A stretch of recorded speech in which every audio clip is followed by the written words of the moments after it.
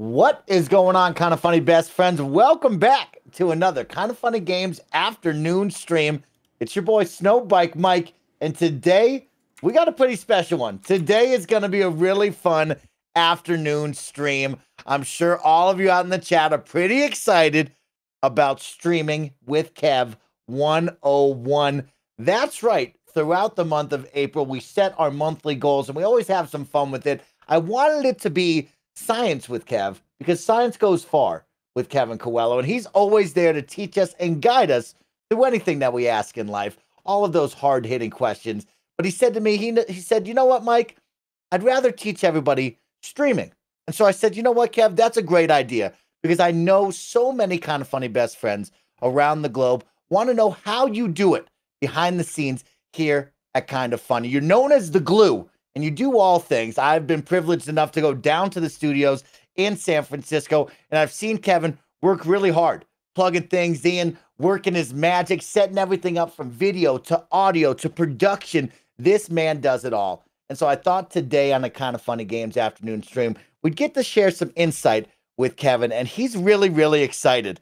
He's really, really excited about teaching all of you behind the scenes magic here at Kind of Funny on what he does on the production side. But guess what? That's not all. On top of that, I wanted to make sure Kevin knew that I was in this with him, right? I wanted to let him know that he doesn't have to do this all by himself. And I wanted to pose the question what's up with woodpeckers and why they're pecking that wood? So I'm going to bring you a fun PowerPoint presentation all about woodpeckers and what you need to know about woodpeckers and why they're pecking that wood. So we'll talk about all that here in just a little bit of time. But you're probably saying to yourself, dang, Snowbike Mike, you're green screened in to the stream as well. Yeah, that's right. Kevin has done it all. We have so much fun to get into. I want to welcome everybody in. I see you over there in chat. Here's the deal. We got some fun presentations to do. And I need you, chat. I need all of you out there to queue up those questions, comments, concerns about streaming. If you're interested in production, whether it be streaming on Twitch, whether it be YouTube content, whatever that may be. If you have a question for Kevin Coelho or myself, please get those ready to go. We're going to take questions throughout the stream. We'll have live demonstrations with Kevin where he's actually going to bring up OBS and show you what he does and how he does it. So we're really going to go in depth and have some fun with it. But don't forget that this is still a kind of funny games afternoon stream. That means you can fill up our daily achievement bar, not located at the bottom right now. It's hidden for just no, a little no, bit of time, but you can fill it up. Oh, there it is. It is. It's there. You can fill it up with follows, subs, gifted subs, donations, or Prime Gaming subs. We'll go for extra time if you filled up. And we're one day away from hitting our goal for the month of April. That is the kind of funny World Championship Spring Fling. That's right. Andy Cortez is willing to put his kind of funny world championship belt on the line. We'll find out who's the best gamer here at Kind of Funny for a fun spring fling matchup if we hit our goal throughout the month of April. Don't forget that we have a whole lot of fun coming at you, especially today, streaming with Kev 101 and later tonight, 7:30 p.m. West Coast Best Coast time. Join me and Nick Scarpino on the couch. We got a big bucket of popcorn, enough Coke Zero to kill you and of course, two incredible guests, Joey Noelle and Greg Miller, will join us for another 80s action movie watch along. The movie tonight, Roadhouse. And you definitely don't want to miss out on the fun. Tomorrow, Barrett will join me. We're going to play MLB The Show together. And then on Friday, we're going to host the Super Smash Bros. tournament. So if you think you got what it takes on the sticks to go out there and smash with all of your best friends, we're going to host a tournament. We're going to bring in as many of you as we can, and we will do 1v1 Omega Stage, no items, showdown live. Me and Kevin and Barrett live commentating, you battling, maybe against Blessing. We'll see. And one of you will walk out as the champion of the stream. Don't forget youtube.com slash kind of funny plays to catch all of the VODs. You guys are crushing it over there subscribing, liking the videos, leaving comments. I see all of your positivity. I love all of it. Remember, we had a ton of fun this week. We played Mount Your Friends on 420. That was a great time. We've been in the war zone with Mark Smalls every single Monday.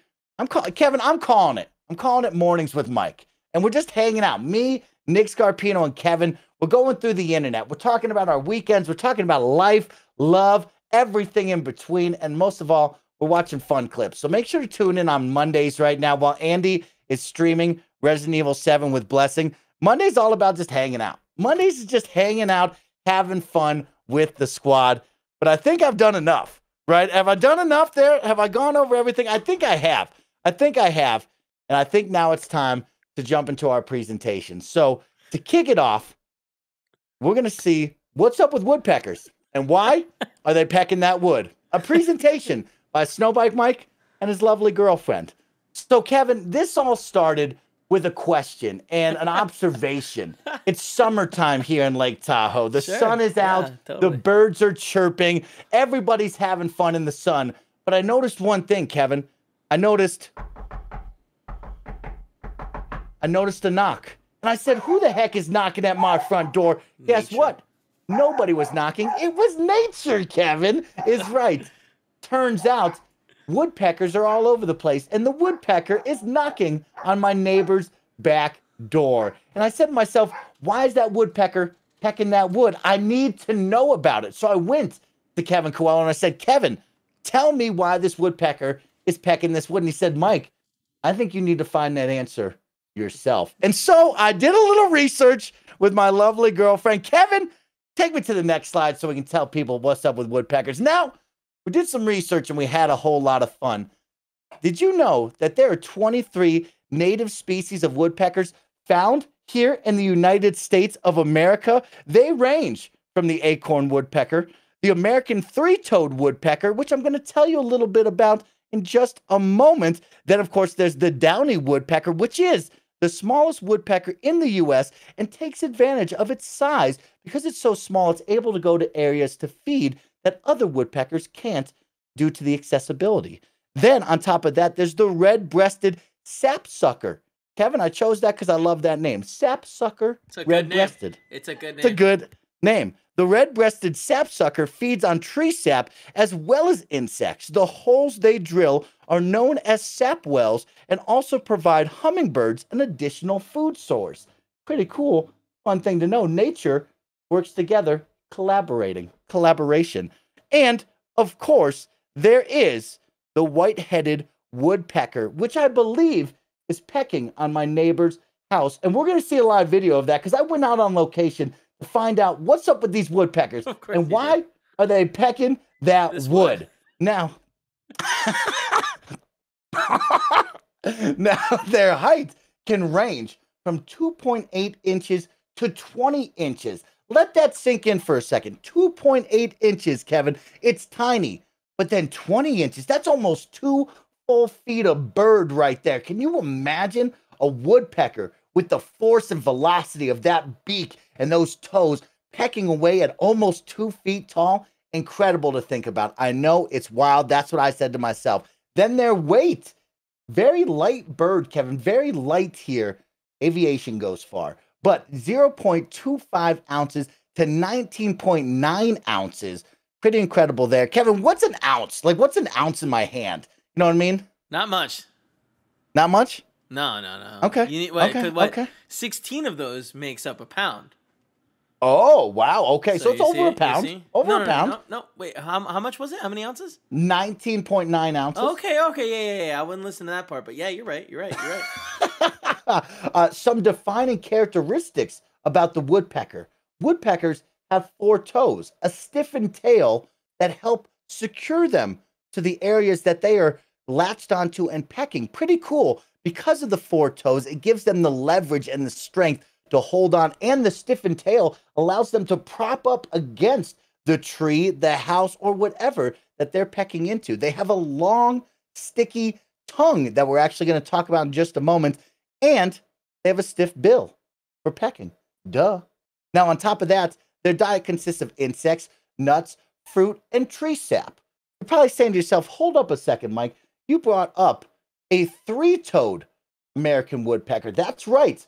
This woodpecker actually has three toes, unlike the normal four toe woodpecker. Like its name implies, the three toed woodpecker has one less toe than any other, and many believe that the trait allows them to lean further away from trees for a more forceful strike. So pretty cool one there, Kevin, that I wanted to bring up.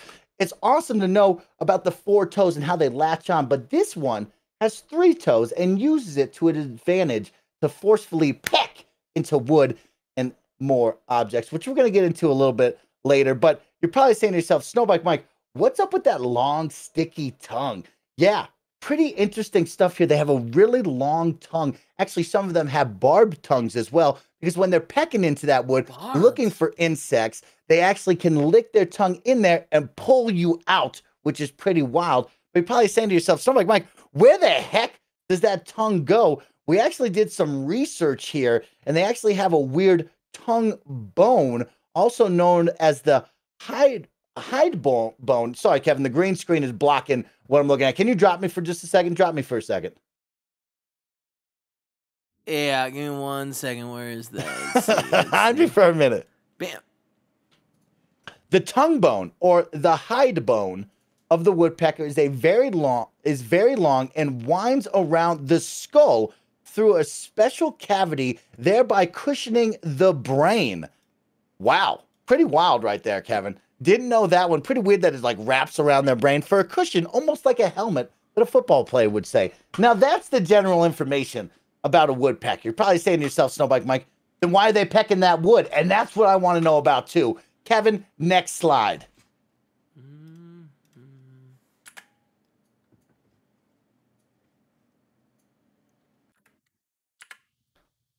Why are they pecking that wood? Great question, Woody the Woodpecker. To search for food, to create a nest, establish their territory, and attract mates by drumming. So, some really cool stuff here. Of course, they're searching for food, whether they be digging into trees to create sap wells, like we talked about, that red breasted sap over there, or, of course, looking for insects inside of different wooded trees like forests and or other areas. They're looking to create a nest as well, which we're going to talk about in just a little bit because these suckers, if they get into your house, we got a problem, Kevin. We got a big problem, and we're going to need to talk about that. But also, a really cool one is they're very territorial.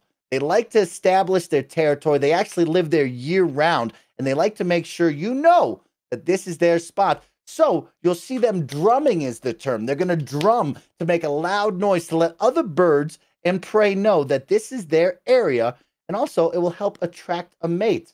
So that's why they're pecking that wood to not only look for food sources and possibly create a nest, but they're letting you know that this is their area and you need to stay out of it and possibly say what up to cute guys or girls. Next slide. Finally, this is some on the job research. I went outside and I said, Why is this gosh darn woodpecker pecking this wood? So I went outside, I busted out my camera phone, and this is what I believe to be the white headed woodpecker that is pecking at my neighbor's back house. Kevin, roll the tape. Um, you know, I'm gonna be 100. percent Oh, hold on. I don't know how to. Sorry, we can't play media in this presentation. How can I play this? Whoop. Can I play this? Oh no, it doesn't doesn't want to let me play this. Oh, Oh my gosh. Oh my gosh. Oh wow. There's some great footage right here. No. Oh good. Oh no. Oh no. that's why in the future, Mike, we have to make use the what is it slides by Google. Now, Kevin, would you like me to send this to you via assets right now? Because Sure, I could. sure. Okay, okay. Let I have references. Send- we cited my sources, APA format for everybody out there. You know what I mean? chat really, really wants to. Kevin, you have to download it. I'm right clicking, and there's no option to download. Oh god! Don't worry, Kevin. I will send it to you. My dog keeps farting, and it's bad. It is bad. Hold on, me. Right monitor. Whoop. I'm sending now, Kevin. Just really messing up my presentation. I'm so sorry, everybody. I'm I'm really flustered now. It's really messing up my presentation. You have it. You got it. Don't worry. Relax. takes a I've second. sent it to assets, Kevin. takes us takes a second to to get loaded there. Oh no, it doesn't. It's here. Oh, we have it. mm-hmm. And then I'm gonna turn the right monitor back on. Boop. And then I'm gonna go to the folder here. Boop. And then downloads. Boop. get out of this presentation. Hold on. We're gonna go here and we're just gonna drop this little video. There it is. There it is. And There it is. Eleven. Bam. Minimize that. Full screen. Oh, look at this guy. That's what. Look at what he's done to the side of this person's house, Kevin. Do you Oh, see yeah. that right there? Yeah. And they don't find Oh, yeah. huh? Um, Kevin, I find it quite annoying, but I also respect it now that I know about it. But also, they should probably get this checked out because it can do a lot of harm to your home. So you got to make sure you know about this because now insects and or rodents could possibly get into this. Also, as well, you might notice that the woodpeckers like to store food in a lot of these areas, and a lot of that food could spoil and go bad, which then would invite a lot of insects and and animals that you don't want inside of your house. So the U.S. Forest Service recommends that you definitely take care of this in a timely manner. But you also remember that these are part of nature and you have to protect these animals. You're not allowed to go out there, shoot it with a BB gun, throw an acorn at it. No, no. You got to be nice to nature, okay? You got to go out there, call a specialist, or what they have for repellents. Kevin, you'll notice, you notice the owl that they put Yeah. up at the top working. right of your screen. So repellents, visual, model owl, snake decoys, and owl silhouettes are mostly ineffective, as we see in this video right here. Mm. Toy plastic twirlers, windmills, flashing mirrors, and aluminum pie cans can be used with limited success. Now, if you look at the back of my neighbor's house, he used to have little twirlers off the top of his roof because clearly he's battled Woody the Woodpecker before to no success. Sound, repeatedly fretting the bird with sudden noises such as banging on a garbage can lid, hand clapping, or toy cap pistols may keep them away. Sticky substances, sticky repellents such as Roost No More can be smeared on tree trunks, wood sidings, etc. The birds dislike the tacky pudding, and a water hose is also a safe alternative to try to repel these birds. Now, Kevin, this woodpecker has made this man's home his territory. He's Mm, going to be here all summer banging on this person's windowsill. And I feel bad for him because I quite enjoy the woodpecker knock. And that has been What's Up with Woodpeckers and Why They Peck in That Wood by Snowbike Mike and his lovely girlfriend. I hope you enjoyed my presentation and my PowerPoint presentation. I had a lot of fun. Science goes far here at Kind of Funny. And that's all I have for you. So thank you. Thank you. Thank you. Kevin, how did that go? That was fantastic, Mike. Uh, I think everyone everyone enjoyed every aspect of it. So let me see. Let me see. I'm putting myself on here. what are you laughing at? What's so funny? I just it's so much fun, dude. That was it. I had a You great time with great that. I had a job. great time Wow, with The that. chat is loving it. Loving it. Let's see. What do I do here? Whoop. Let's move that over here. Now, as we reset the room, of course, thank you to everybody for putting up with that dumb presentation. I wanted to let Kevin know that I'm by his side and I want to do dumb, fun things with him and not just make it about him because Kevin Coelho does so much and he's willing to go above and beyond for anybody. And I will always let you know, best friends out there, all of the chat know if you know me, I want to do that with all of you because it's not just about me, it's about us. So when I win, you win. And when you win, I win because we are a community. We're best friends and we'll go far together. And that's the best part about this. So I wanted to do that alongside Kevin Coelho to let him know hey, homie, I'm always here for you like you are for me. And I hope you enjoyed that. I hope you had fun with that one. That's APA sourcing. Saw you out there in the Twitch chat. That's my APA source, just so you know. Wanted to make sure we sourced all of our material there. But, but today's a fun day. Today is a day that's made possible by all of you for continuing to support our streaming efforts here at Kind of Funny. Each and every weekday at 11 a.m. after Kind of Funny Games, you can catch our Kind of Funny Games afternoon streams. Myself and other Kind of Funny personalities will be here to play games, hang out, and of course, most importantly, engaged with all of you. I always want to make this a fun time for not only the Kind of Funny crew and the games that they play and they want to play, but I want to make it fun for all of you. I want to make a, a way and find a good balance where we can engage with all of you, hang out, answer questions, kick it, play games like we will be doing on Friday, and just have a good time. So I hope you all enjoy it, and I always appreciate your support. They appreciate your support, and we love having fun together with all of you. But today is an awesome day because we're going to learn streaming. with Kevin. So I hope you have your pen, your pad, and you're ready to take notes because Kevin Coelho has set up and is prepared for live demonstrations, a full rundown of what we do here at Kind of Funny to help create an incredible product that we produce here on Twitch and on YouTube and all of the different avenues that we put out our content. So if you are an aspiring content creator, whether you're interested in streaming, YouTube, podcast, whatever it may be, or you just want to know what the heck is that guy Kevin Coelho doing in the background all the time, now is the day that you can find out. So queue up those questions, comments, and concerns. Don't type them in yet because there's a lot to go over. And I also went over to Reddit. I put up my first ever Reddit post on the kind of funny subreddit, and I asked all of you, hey, what's up? You got any questions? Let me know. I'll ask them directly to Kevin. So for this next hour and a half, or possibly longer, if you support that bar and fill up our daily achievement bar, we'll go for as long as you like, and then maybe we'll play some Fortnite with you. Because I know Kevin loves Fortnite, and so do I. I love me some Fortnite. But Kevin, I have a lot of I have a lot of questions here, but I know you want to kick this off, so I want to kind of open up the floor for you to kick it off, guided however you like, and then when you're ready, I can go into questions. I can check the Twitch chat. We can go anywhere you'd like. But I think you know you starting off with the basics of what you do, how you Mhm. do it, and then we go from there. Now, I feel like I, I want to start by saying, like, kind of, kind of screw myself a little bit, starting with the really well done presentation, because like I haven't super planned anything out. I, I've just created an OBS thing with nothing on it, and I was gonna build kind of our setup so you guys can see the like step by step process, and then maybe you guys throw questions at me. Um, but like, yeah, you you planned everything out real nice. You know, maybe makes me makes me look like a bum. Kevin, uh, you're going to be incredible, Kevin, and everybody's really excited.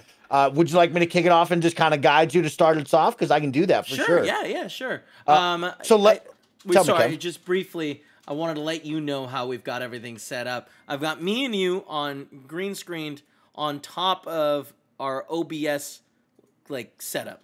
Now, I'm this I've never done this before, but you can use two OBS programs at the same time. So I'm using one to run our actual stream, and then I'm capturing another one so that I can replicate the build that I have and walk people through each step. And then yeah, towards the end or later on, we can show people how like we can throw have people throw ideas at us and we can try to sort it out and see what we can do together. Sound good? Love that, Kevin. I really think this is going to be a great time. It's going to be really, really exciting and an awesome opportunity for everybody to get their questions and uh, find some answers. So, Kevin, let's start off with this, right? You are the production manager here at Kind of Funny. Title, you know, a lot more than that, but you do everything behind the scenes. When you start your day, what is this program that we're using, and what do you encourage others to use when we look Mhm. at streaming and video production? So that's a great question. So basically, when it goes as far as streaming goes, personally, I love OBS. I think it's a fantastic platform that is constantly evolving and um, adding cool features. Like one of the biggest complaints we've had for years is that you you you change something in OBS and there's no way to unchange it easily. So there's no Control Z, no undo function. But 20 so this is OBS 26.1.1 OBS 27, a beta came out recently, and it now has the undo redo function, which is really, really, really cool. So I really, really love uh, OBS. There are other programs, there are many other programs like Streamlabs, vMix that you can use to um, stream. I personally, there are some minor features that I really, really like about OBS. Like on the fly, when you're trying to crop something, all you have to do is hold Alt down and then grab a corner and move it, and that allows you to do a lot of stuff. So there's a lot of like little things like that that I think make it so easy to use. Um, also, it, incorporates uh, Twitch.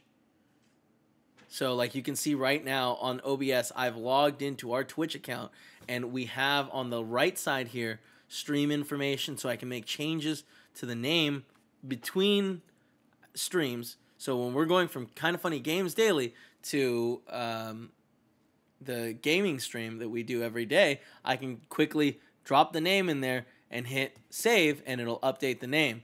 I can also monitor chat on the bottom right here, so that uh, if anything's going wrong, the kids can let me know that like, oh hey, the sound's not coming through, or it's way too loud, and I could right away just see in this screen where I'm controlling everything that uh, that what's going on with uh, what's outputting.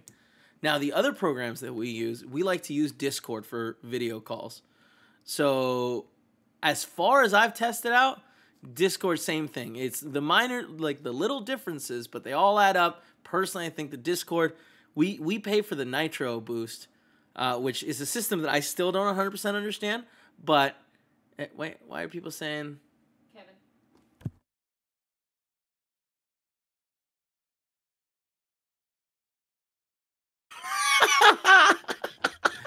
Sorry, Paul had me. A, uh, had a question. She has to do a call in a little bit, and maybe I won't be allowed to tell. Uh, we can hear you. Um. So yeah, we use uh, Discord to do our video calls, and the way we bring in people via Discord is just the screen capture. So for the particular way that I do things, it's really necessary to uh, have multiple screens. I would imagine you need two minimum, three is ideal. And that's a lot of screens, but when you're doing this kind of stuff to the level that we're trying to, you know, it, it helps. Why not use NDI for what?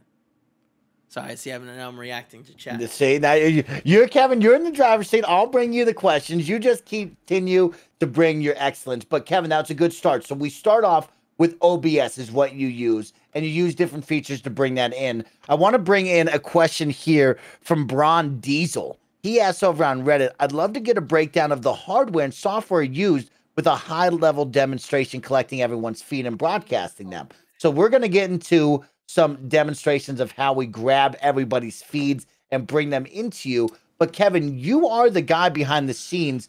A lot of questions were asked.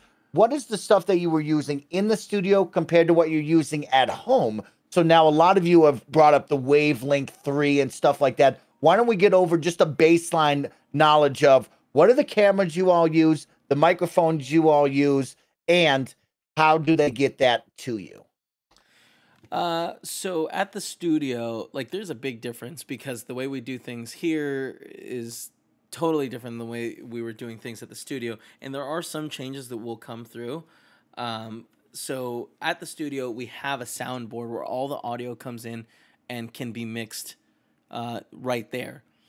Here, it's way more difficult because uh, essentially we have to capture the Discord audio for the conversations and then bring in other audio sources through a di- we can capture desktop audio but then if we have any audio playing it gets all mixed up and uh, what I love it. The chat. Keep going, Kevin. I, I mispronounced this kid's name, and then somebody wrote, "Got to change your name on Twitch now." um. Uh. Yeah. So, with basically, we use now that we're in like playing remote it like audio was a huge challenge um, because we have all we use SRT to stream, right? So that means that you will send me your video stream th- using a program like OBS, and the audio is embedded there. And the way we use vMix, your audio channels are coming through it. So whenever I switch between each different video feed, it switches the audio channels. And what we use is the uh, Wave 3 comes with a program called Wavelink, which I can bring up right now. Um, there it is. And uh, can I make this longer? No. And Wavelink is awesome. Unfortunately, it only works if you have a Wave 3. Um, I believe that uh, there's a software called Banana sure the chat knows its full name, but it's another audio program that works in a similar way where you create virtual channels. So this essentially is a virtual uh, audio mixer. Uh, yeah, Voicemeeter Banana. Thank you. Whatnots? Yeah, that sounds about right. Yes, the whatnots. Yeah. Uh huh. So actually, let me show you a little bit more. We can go into our Discord, and I can pull up the settings. And yeah. Audio, video, great. So I'm pulling this up right here. So on Discord, we have our input set to, oh, interesting. That doesn't matter, but we have our input set to, no, then that makes sense. Wavelink stream, okay, which is this output right here. See, it says stream mix. And yeah, it...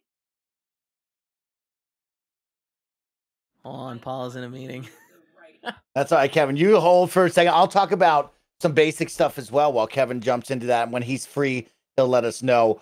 Um, on the basic side of streaming, it's fun because I started streaming in 2015 and it's been a cool evolution of different gear and equipment that I've gotten over the years, right? It started with just streaming off of the Xbox with that capture and then growing over to the PC side with a capture device, a camera, a microphone, and so on, and seeing the evolution of products alongside inside my studio. It's been really, really cool of looking around and going from the Logitech C922 cameras that I had, which is just a simple USB plug-in, along with the Blue Yeti microphone and the AT2020, which is just simple USB mics that were great on Discord calls and on OBS, very simple plug and play type of situation. And then the evolution of that to move on into the Sony A families where you have the big camera that's really, really nice. But on top of that, you have to go out there and get special plugins for that through the Elgato Cam Link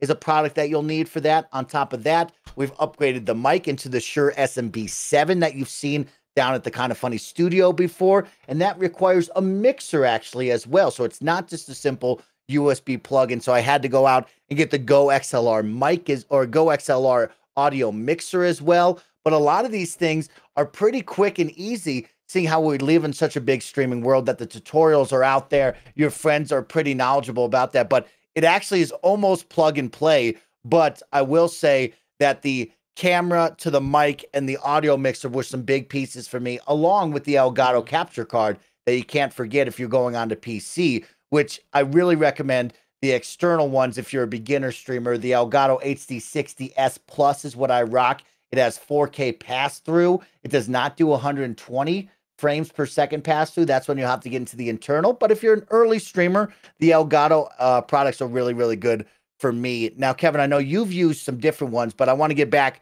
to where you were and the products that you had now that you could possibly talk. Sorry, let me just for a moment get back to the Wavelink and how we use that. So what I do then is in Discord, I have the output.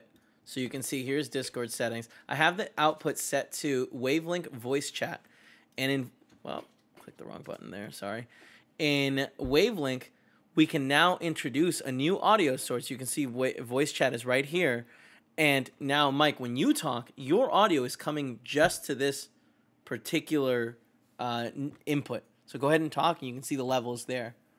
This is Mike talking. And yes, as Kevin said, this is really cool because instead of getting this big mixer like I have, the Elgato Wave 3 actually brings you a mixer with that USB microphone, right, Kevin? So you actually save a Absolutely. lot of money without having to have both of the products here that I have. Mm-hmm it does have some issues. Certain games, and I'm forgetting which one uh, there are, but the audio doesn't work the right way because so you can see there's a game tab. You can go into the settings here, and then right here there's a bunch of options on what you have going on, and um, you can then set. So imagine you have a game here like um, a sweater, and you can go into defaults and set it to whatever you want specifically. So it could be the FX channel or an aux channel or set it to game and then it introduces it as its own field that you control control the levels at. So right here what we do is I have my stream mix set as the output. So this means if I need to, I can share audio with the boys of whatever's on. So if I'm watching a browser video, I can turn on this, which sends it out to the stream mix, and now they can hear what I'm hearing, um, and also I can control the levels independently. On top of that, we can also introduce all of these inputs into OBS as their own separate things, and I'll show you that a, a little bit later. Uh, what filters do you use for mics? We don't use any filters. Uh, I mean, we have a pop filter, but I think what you mean is digital filters. Um, it's it's just uh, direct feeds. Yeah, the audio sounds That's good correct. enough. The wavelength is a great mic that does a really good job uh, interpolating the audio. And back when you were using the the same one that Mike has, the the SM7B, is that right? Yep. Uh huh. Uh, they're also fantastic. I mean, in the settings, when we had an actual soundboard, we would spend a, a, a couple days tweaking the levels to make try to get the audio sound as clean as possible. But Wave threes do make it simpler. Uh, but I, I do very much miss having a soundboard because it was really nice when we have a quiet guest or a guest that doesn't have a fancier mic. Maybe they're using just their headphones or, uh, you know, their Apple uh, headphone headphones with a little mic on there, and the audio comes in a little low. Sometimes it can be difficult to ex- try to explain, like, "Hey, go into Discord, turn the volume up," or "Go into your mic settings, turn the volume up," and it would be really nice to just crank up the the microphone on my side. You can't do that independently in Discord. Yeah, all right. Well, I think that's all good for audio. Uh, do we want to talk about cameras?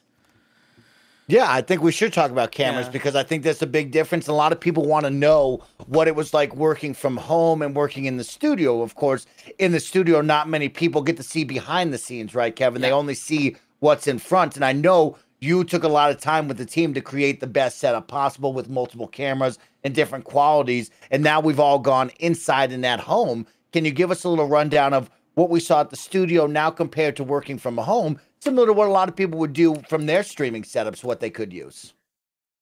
Yeah, so um, at the studio, we all used uh, Canon. Wow, this looks like crap. Why does this look so bad? I'll worry about that in a minute. Hmm. At the studio, we used the Canon C300 was our main camera. Mark two, wait, Mark, Mark one, and then we had two Canon C100 Mark twos. These are really high end professional cameras that, frankly, we probably shouldn't have been using. I don't know why this looks so weird. Uh, and then when we first moved, and, and those cameras are great, but you need a whole bunch of different systems to incorporate everything. You're gonna need um, you're gonna need like a switcher, which is a device that essentially you plug in a bunch of different inputs and then can switch between it. But it also allows you to do like keying effects and different things like that. We use the the Blackmagic 4ME, uh, and that's a fantastic prosumer level switcher, which means that it lets you do everything that the commercial grade stuff lets you do, but is cheaper essentially. Um, and and those go they're they're actually fairly expensive. I think if I remember correctly, that's like a two thousand dollar device. So every component was really expensive, and it's actually pretty amazing the level of video quality that we can bring from our homes. Uh, I added here so that I can show you guys. This is the Logitech Brio. So this is uh, Logitech's like 4K uh, little webcam, and when we introduced this, it I mean it's you can see it's it's not the prettiest looking camera, but for this first several, I want to say for the first several months, or at least the first couple of months, we eh, were using these cameras to do all of our streams. And it wasn't until afterwards that we we started using the Sony A6400. But with that camera, you need a couple of things. You're gonna need a fancy lens, like we have something called a Sigma ooh, 16 millimeter lens, which look at that. You can see that naturally, like that without any effects, it if you set something close, the focus on it is really, really crisp, and the focus behind there, it creates a bokeh effect. So that like blur, you got to cover your face. There it is. So the Sony A6400s have um, a really, really good face detection. So you have to cover it, and then look at that blur behind that. That's so cool. That's why we have these lenses. Um, but they are expensive. Uh, the the camera themselves for the body, I think, is eight hundred dollars. The lens is like four hundred. two to four hundred. I, Yeah, I felt yeah, like it was about a thousand to twelve hundred dollars uh, And then, here. And then on top of that, you have to then buy a cam link, which at the start Yes. of all this, this pandemic, it was very, very difficult to find any of this stuff. The cam links were sold out for quite a while, and that kind of slowed down uh, our upgrade. Actually, a best friend sent over. He was like, "Hey, I have an extra cam link," and sent it over. So that was awesome. That was really nice. Um, but it just even for us, like it was really difficult to get all this stuff. What camera again? It's the Sony A6400, uh, but the Sony 6000 uh, works pretty well and is um, a bit cheaper. Uh, yeah, Fran uses the same camera. I mean, a lot of people do now, but I believe that we copied it after uh, Gary Whitta got in. We were all just like, well, if, if he can get this camera, we should all have these cameras. and here we are. Uh, it can do the job. Which lens? The Sigma 16 millimeter, I believe, is the name of the lens. Sigma 16. Yep. mhm. Yeah. Uh, Um, Kevin, yeah. you, you ready for some more questions? Sure, sure, absolutely. Yeah, let's. I'm gonna read off some questions coming from Reddit, and then we're gonna get into you Twitch chat. We're gonna do some live demonstrations.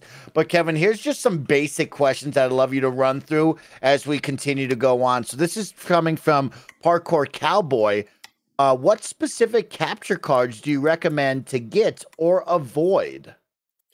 Uh, so I I feel like capture cards like that stuff's always being updated. It's really easy for them to update it in the back end too. So it, it I heard a lot like a shit of like Blackmagic, the capture internal capture cards had a lot of problems, and recently I've heard that they've they're they work pretty well.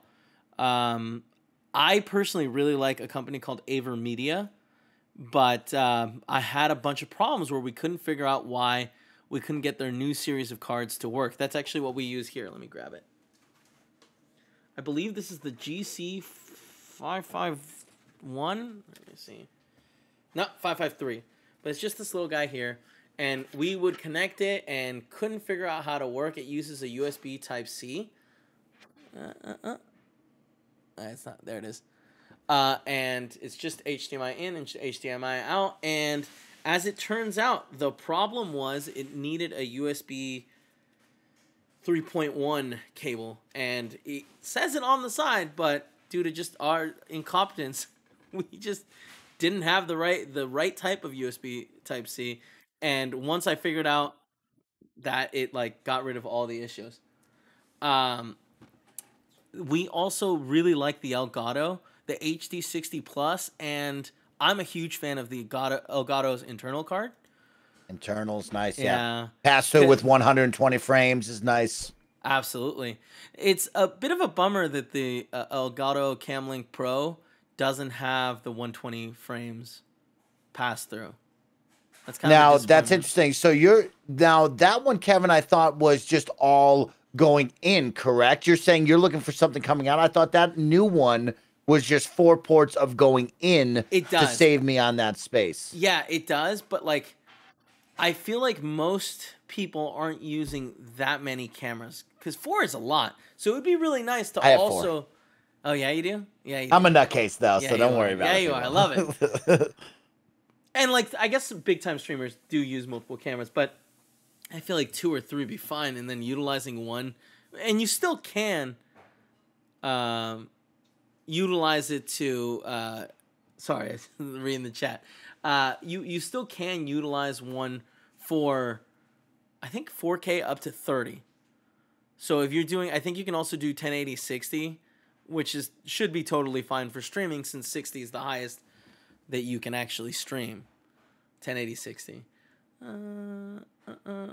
So I, I i would love to try one of those cards. If not that the black magic equivalent which is a very similar card um, for our future studio setups. So instead of having a cam link and a elgato capture device or a, and a capture device next to it i would love to just have one chipset in there that's taking care of all that wire all that space.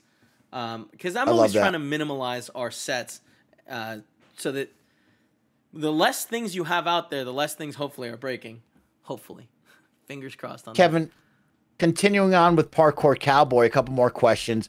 What kind what kinds of physical switches do you prefer? Not quite sure on that one, but I'll let you go in there. I think maybe he means my Elgato Stream Deck, but I'll let you handle that one. Any traps to avoid for hardware that end up causing more problems than solution? Any general websites you recommend you come across when you have issues? And most importantly, blue store or yellow store? I don't know what that means. But Kevin, Blue store go on that or one. yellow store? I'm a little confused on that one too. If anyone wants to uh, Mm-hmm, break it down for me, that'd be great. Um, let's see. Sorry. Um, I really like Stream Decks. Um, but that being said, I also use the foot pedals for switching between different uh, video feeds on vMix, and uh, there's nothing wrong with that. So it's it's funny. It like Stream Decks are a little bit more expensive, but they're also really pretty and they do a lot of really cool stuff. I have the Stream Deck XL, which is the big boy version, Mm-hmm. uh, and honestly, we were given that as like uh, Elgato just sent us a couple, and I I love it. I'm not even sure how much they cost, but they have revolutionized how we do things. Uh, because with the press of a button, it plays the intro, starts the record, switches to the right destination, so the intro goes out, then has a timer set, so then it switches over to the um, the scene with uh, like Games Daily. So it you can automate so much, and it's really really easy to do. It just requires some t- thinking and testing. Um, now what would I use if I were a small boy? Uh, I, I I'm not sure. The Stream Deck normal works great too, I- and it has a lot of buttons as well. Yeah, I would recommend the you know depends on how big your production is and what you're really getting into. For a normal generic streamer similar to myself, I would recommend the normal size Stream Deck. I don't think that the small Stream Deck with only six buttons would be of use to Yeah, me. But I do like the normal one because as well, even if you get the small one, you can create folders that will have more buttons and you can go deeper and deeper and create more space. But I noticed that the small one seemed like too small. And then the medium one was perfect. The big one is like a dream, right? But I could see myself not using all the buttons and having a lot of wasted space there. So I really enjoy just the middle ground one. I think it hits on all the areas that you can do with that. Kevin, keeping it going. You ready for this one? Yeah. Also, Um, re- real quick, I tell me, yeah, Kev. I'm, I'm walking us through how I put together our scenes. Uh, right here, well, this this first image called background. That's just a PNG with certain things cut out. Actually, let me see. I should probably just whoop. working from home. See if I can pull up the actual image. That doesn't matter. Uh, so I throw that on here, and then I create a desktop capture, and that's what I was just did as you were talking. And I've cropped everything out except for your camera, and then I lower that and I put that on the bottom. So you see that? Now I can resize this guy, get it to fit where I want to, and then crop out the rest. Hold. Though, so that's the question right here. Borzen comes in and says, "Okay, how are you able to crop the source without having to go into the transformation menu on OBS? Is it a plugin or what the heck type of magic are you doing?" So, Kevin, this is a really cool trick for people to know. Do that one more time. How you crop that again? So and what tell we're us how you doing- did it. So what we're doing is we're holding Alt, and that allows you to change the crop on OBS. Now this is like the biggest feature that Streamlabs lacks, but it's so simple to do. Um, if you like, different buttons do different things. I think Control, no, is it Shift? Yeah, Shift will warp you. You see that? Yeah, shift to warp. You got to be yeah. careful on that one. Yeah. Right, because now the warp doesn't go away. You can't get it to slap Gotta- back. So what you have to do is go here, hit reset transform. It opens it up all the way. I'll put it on top so that I can see it better. Press Alt, grab any of the squares. See the corner pieces there, and in the middle. Grab any of the squares while holding Alt. Click, and then that allows you to crop. Same thing. I like to just go to your borders. Bam, bam, bam and then put it back underneath the background layer. Something also that's super important is naming conventions for stuff. Um, the way I do stuff is that right now we're capturing a window that has two slots in it, right? So uh, let me redo this then. Uh, actually, no. Let me introduce a new one. And so, for all of you asking out there, Streamlabs OBS does allow you to press Alt and crop. Just so you do No, know, I do use that all the time. Streamlabs? Uh huh. Streamlabs does now oh, really? do that. Oh, that's cool. I didn't Uh-huh. realize that. Oh, okay, cool. That's a big. That's a big deal. Um, let me do one more. So I'm going and adding a, a source, hitting display capture. Now I'm gonna name it something that fits with my naming convention. So the last one is two cam slot two. So uh, this one I'm calling two cam slot one. And then we switch that over to which, so I have three displays and I switch it over to my left one. There it is, okay. And now holding Alt, I'll pull the corners, crop around that screen, out. Move this so it's in the lower spot, and I mean, sure, we can put my camera feed there, Alt, and crop it down. We can even crop tighter and bring it up like that. Get rid of this side stuff. And now we've got my camera being introduced. Now this is funny because this is a shared screen that I'm sharing with uh, Mike from an OBS capture. So the quality of this particular video is really shitty. Uh, let's see where. Yeah, and then you guys are seeing that even smaller. So there we go. I hit Alt. Now I can move Mike over here. Hit Alt. Crop it out. Now, you can see that Mike has a green screen. So how do we utilize that so that uh, we can do something, actually get rid of that green? It's pretty simple. You right click and you go into filters. Here you have your effects. These are all your video effects. So if you go into effects, you can look. There's a bunch of them. The one we care about right now is called chroma key. So you add chroma key effect. That's like there. And it defaults to green. And you can see it's already taken his green away. Um, but it's not it's not great. There's a little bit of gray haziness on the right. So what you can do is just play with the settings. And here's the truth: I don't know what any of this stuff does. You know what I mean? I'm just playing around with stuff. That's not that's worse. That's better. Uh, and then like that's what we do because you can always re- hit defaults and it resets it to about back to what it was. So don't be too scared. Oh, that's lowering the brightness there. That looks like that's working. So we hit close. Sure, that's fine. So there it is. We were able to green screen it out. And let me see something real quick. Let's get an image. Mike, what do you want as your background? An image is my background. Mm-hmm. I would like that sapphire blue Lake Tahoe, please. Okay. So give me one second. Just go to Google. I almost said a woodpecker chat. I see y'all. At that. I, almost did. I almost did. almost did. I almost the- did. I almost did the video of the woodpecker behind you, but it's fine. Lake Tahoe. I don't like that it's not coming up right away. I mean, Lake Tahoe should be the first thing in there. 13th most photographed place on the planet, Emerald Bay. Beautiful for morning and night. A nice cruise around the bay. You can also check out the Vikingsholm, the nice tea, uh, tea party castle in the middle of the Emerald Bay. Beautiful. Most everybody should check it out. If you haven't seen Lake Tahoe, you know, I yell at you all about it. Please go check it out. Check it, check it out. Hold on. An image is loading that I like. Mm.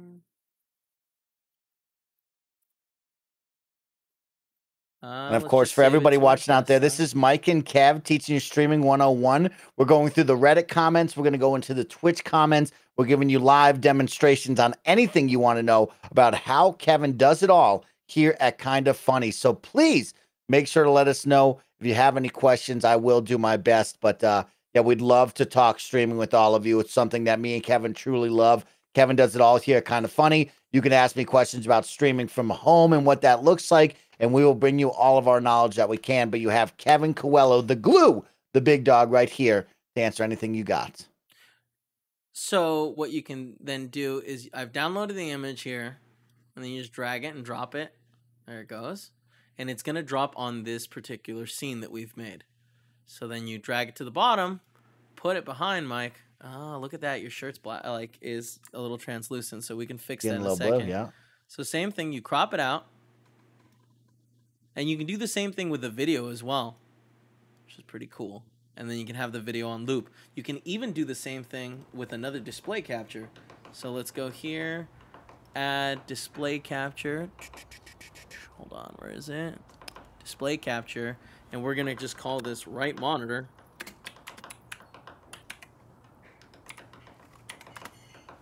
Uh, switch it over to that. Okay. See if I can loop this. Yeah, loop, mute, because we don't need to hear it. Crop that down. Perfect. And if we wanted to, we could make that your background here. Look at that woodpecker just pecking away. Look at that thing. Just in the background there, right next to Mike. That's what we're doing. Peaches, you rock, Peaches. You're the Yeah. best. So you can have anything. Now, when you do this, now like you can see my mouse there. If you want to get rid of the mouse, you can click on there and just turn off right uh, capture cursor. And now you can't see my mouse anymore. But if you do anything with this, like open it up, it'll change the size, it'll move it around because it's just capturing this display. Uh, so let's go back to the, instead of this, delete that. Excellent. Um, how did he loop? So on the video that I have playing, if you right click, there's just a f- option for loop, and a lot of times Yeah. that'll be there. Mhm. That also works with YouTube videos and Yep. just a bunch of different players. It's Um, great. Kevin, question from the press pool really quick before we move on. Go for it. The difference between using a green screen and not using a green screen, will I see a dip in my video quality if I use a green screen? Like, my question is, is I like being immersed in the game and I like that I'm here on the content, but I also notice that maybe my video quality isn't as good as it would be if I dropped the green screen and just let it happen without the chroma key filter. Is there any cadence to that? Is there any truth to that if I would see a dip in that? That's interesting. I'm not entirely sure, but you can always test to find out what the effects of whatever you're doing is. So we have Task Manager open here, and then we're going to go into your camera, go back into filters, and turn that filter off. So you can see GPU usage is around 50%. Now, granted, I have a lot going on. I'm streaming, and on top of that, I'm using two OBS programs. So let's see GPS usage. It doesn't look like there was a giant bump. There might have been something. It might have gone from uh, on this. Uh, you can see none of these quadrants or none of these uh, graphs are showing a massive jump. It kind of looks under like under 3D. There was a little bit of a dip from 60ish to 56, but that is fairly insignificant. So let's turn it back on and see if we see a same same bump like that. So what was that again? Filters, and then just now that you've got it set up, it works like that. You can turn on and off. But let's get rid of that. Let's let's fix that sp- like color spills happening. They're making you a little bit ghost-like and transparent. That's not it. That's it. That's the one. There we go. Now you're less see-through there. Okay, good. Close. And then yeah, it looks like under th- the 3D, it kind of jumped up a little bit up to 60. And now instead of hanging around more the 50, it, it's kind of all over the place. But it seems like it does bump it a little bit, but it's depending on your GPU, it'll affect it differently. So you you can always open up Task Mass or Task Manager and check out things like this. If you're worried Kevin. about stuff, we do this all the time with like vMix and stuff when we're doing the streams. Yes, go ahead. Next question coming in from Reddit. We have Envy Nav. What are the differences between running the streams when you were all in the office and running them while working from home? Do you feel like any of the things you had to figure out while working from home will continue to help the streams when you eventually go back to the office? a lot of what we figured out is going to help with the gameplay stuff in the future. We plan to have a gameplay room with like I don't know, let's say it's got four booths in it that people can come in and everything is set up for them.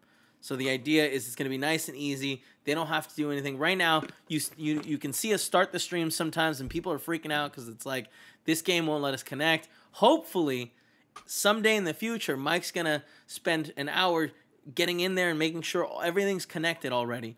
Um, that being said, like the the stuff that we're doing directly affects that. Some people in the chat were asking me why we don't use NDI. Well, NDI doesn't work long distances. That's if you have the computers in the same spot.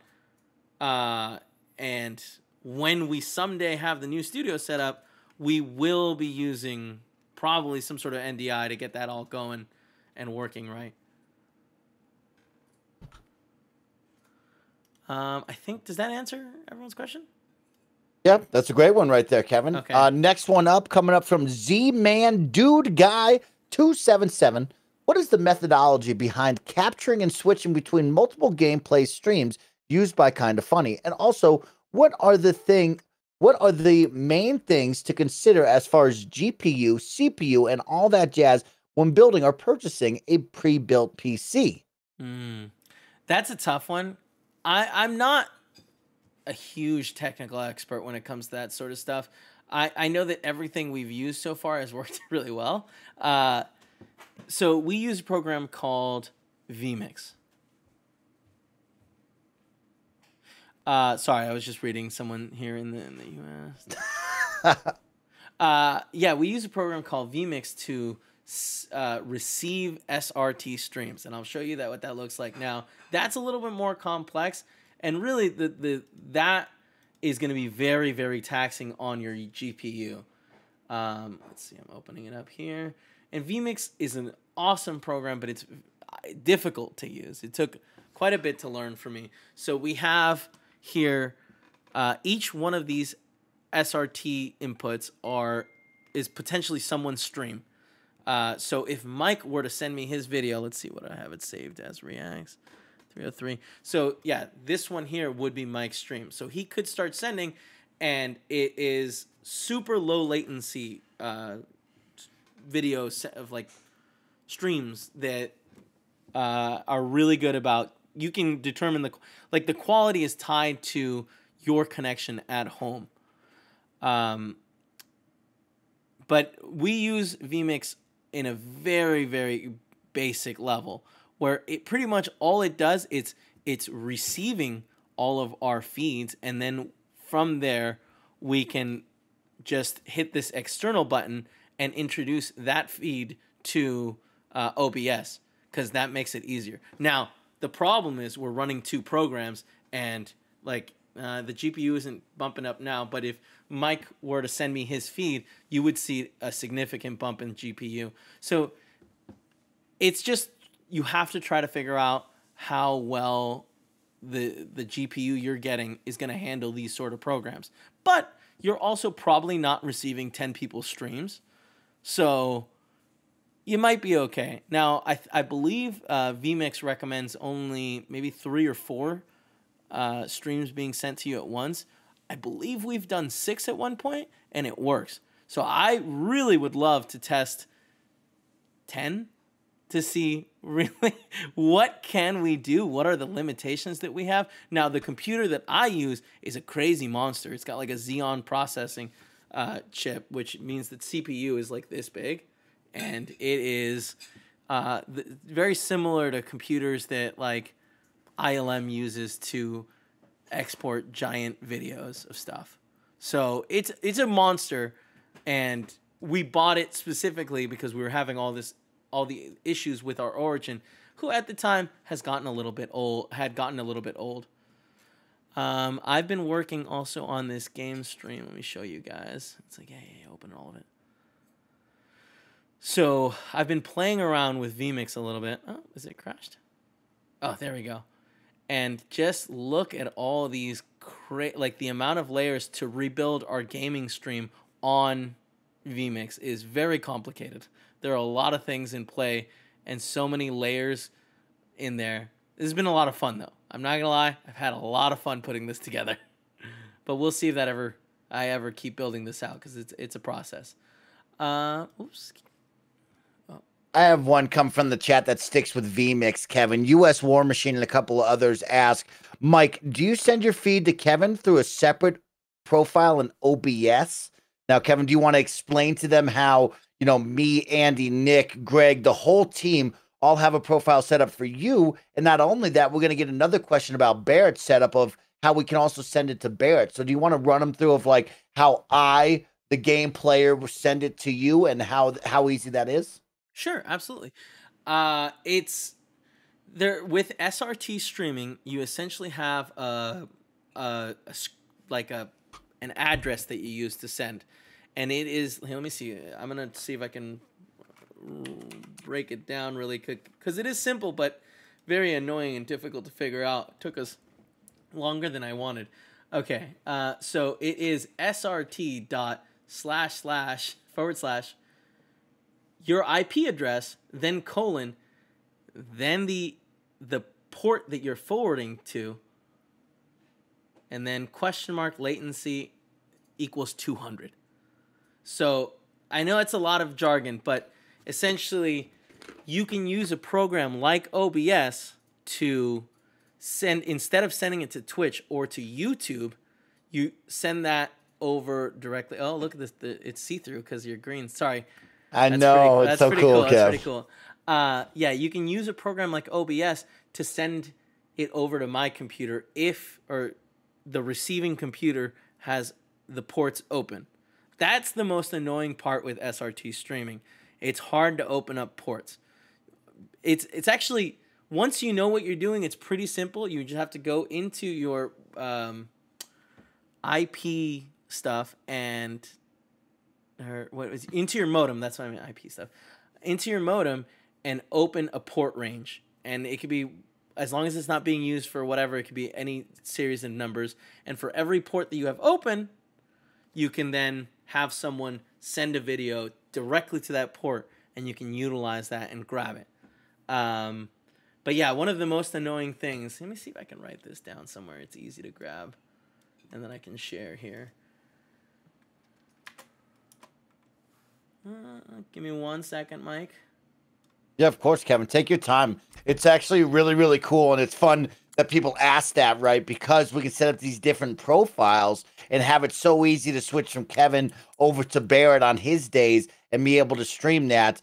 Actually, it's so easy that you could even create profiles within OBS and stream for your normal streams and then a Kinda Funny stream. As many of you know, I stream on my own time, similar like Andy does and stuff. And we have our whole setups, right? We have the Andy stream, the Mike stream. But because, you know, I'll, I'll tell you two things. One, OBS and Streamlabs OBS make it so simple where you can create different profiles and switch on the fly if you'd like to do that. I was actually very nervous because I'm a big dum dum when it comes to streaming and tech. I actually run all of my personal streams from Streamlabs OBS, which I really, really enjoy. And then the Kinda Funny team, I use OBS, the generic program, and I have a profile set up over on that where I can stream to Kevin and Barrett and even run the streams if need be. But a lot of you will see that of I'll switch back and forth or I'll go back to my own. And it's really, really cool of what OBS does where you can set up these different profiles, switch on the fly, and go to a whole new look, a whole new setting, or stream to a whole new person like we're doing. So for SRT streaming, which is some really high level things that like I feel like for most people they won't be u- utilizing, but this I think understanding this text that I put up was the most difficult part. So once you've opened up the ports on your computer, what you do is you find out your outgoing IP address, which is not the same as if it starts with 192 or 10.00, that's not the right one. You need to find out what your IP your your outside IP is and you can j- literally just google it and it'll tell you what your IP address. You stick that where the X's are and then you put the port that you've opened up and then you send this to whoever wants to send you the stream uh, yes, the public IP. Thank you, chat, for letting for fixing that. Uh, and then they can put this under. Let's see. So let's go settings. Let me move out of the way. Make sure I'm not showing anything bad. Okay.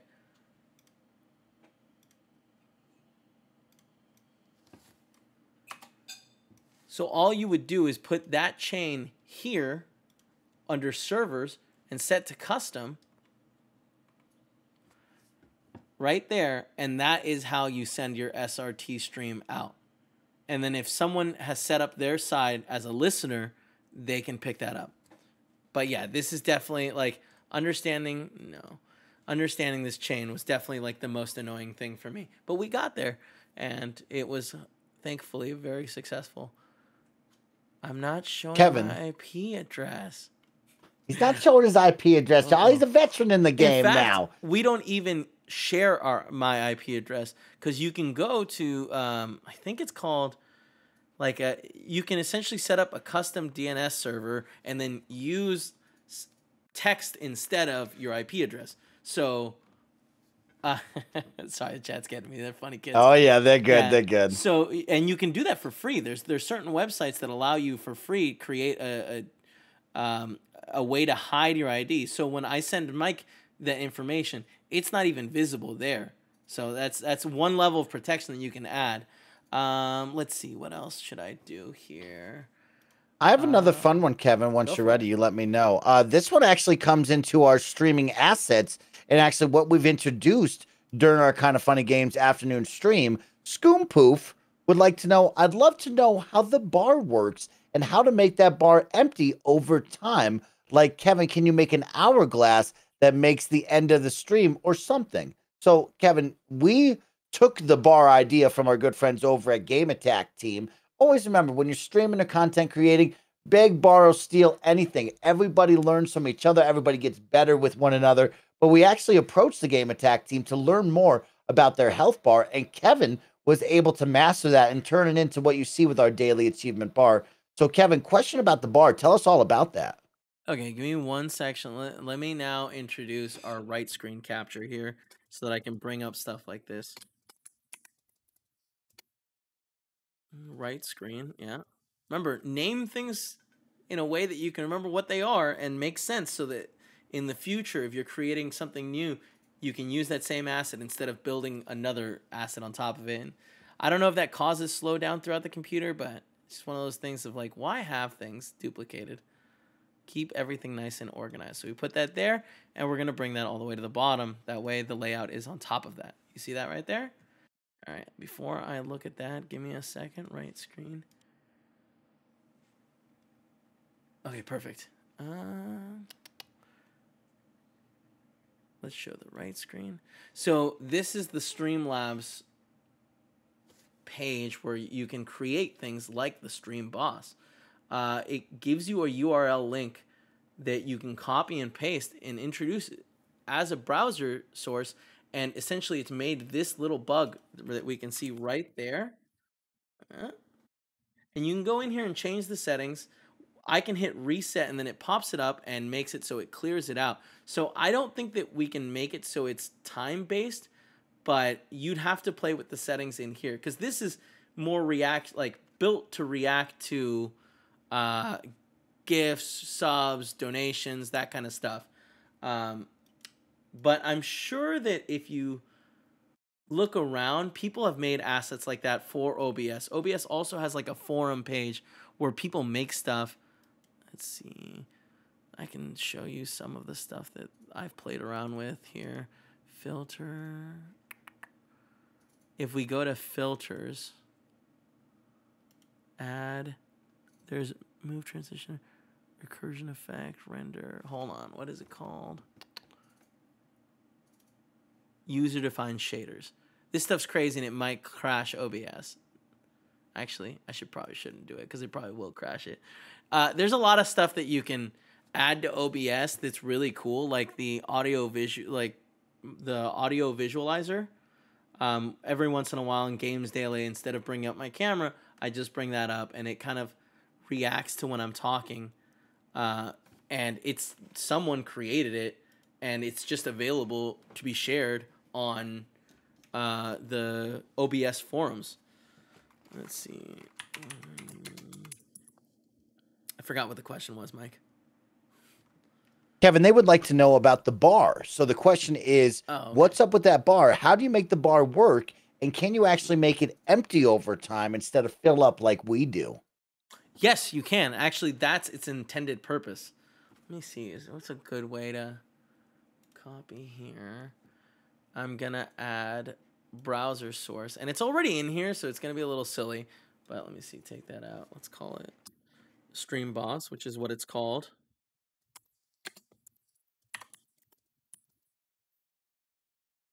Make source visible, sure. And so it pops up like this, you know, it's just a generic thing, and it wants you to put the URL that I've copied here. So I'm gonna do that over here where you guys can't see. Great, and then I don't change any other settings, and I just hit OK. And what should happen? Yep, there it is. Now you can change some of the settings so that this box isn't as big, but it doesn't really matter because what you can do is you zoom, you hold Alt, and then you can crop around it. I thought he meant he wanted it time based, but you can see this is what the actual bar looks like on its own when it's just introduced. Now, the way we do it is we flip the bar right there. Are you, are you talking? No, Kevin, don't worry about me. I'm ordering Okay. lunch. Okay, sorry. So we flip the bar right there and we hide the text by just cropping it out. And that's as easy as it needs to be. You can change the colors in um, in Streamlabs. You can change what affects it, I think. Test once. You can definitely change the colors because we set it to these colors. And um, right, yeah, the, the right way to do it. Oh wait, yeah, there it is. The right way to do it is it's supposed to be a health bar that you're chipping away at. So yeah, we can you can totally do it that way. But it made more sense for us to just flip it, crop it out, and then put it where it needs to go with a PNG on top of it uh, that that hit it and that, that made it look like part of it. Streamlabs is pretty simple and it does a lot of really cool stuff. They have a lot of you can go to the apps or their little app store. Hold on one second.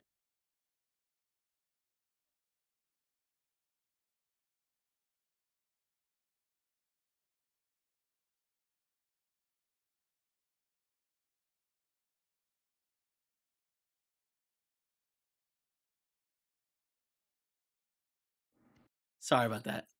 Stop. Not funny. That's all right, Kev. Good job on the bar, see. though. That was really cool.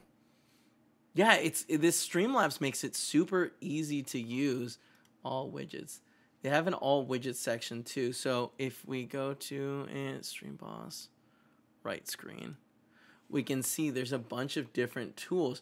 I really like Stream Labels. If you go into Stream Labels, you can download this program and then it creates all the little tickers that we use in the bottom.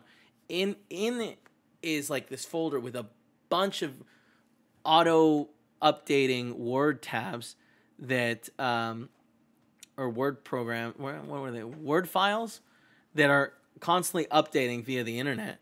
And then you can introduce them. I guess we could do one really quick. Uh let's see. Open and then we're going to do a text file so i've downloaded this program already. It's installed and then you can go text file and then we can, I don't know subs let's call it. Okay and it's probably you, you'll do read from file and then you have to go and find it. So give me two seconds. Oh. That solution no longer works for hiding stuff. Uh, browse. Let's see. I think so as long as you've set up everything correctly you should be able to find it easily i haven't set it up correctly well maybe i have Let's see. Twitch. Fill time. Fill time.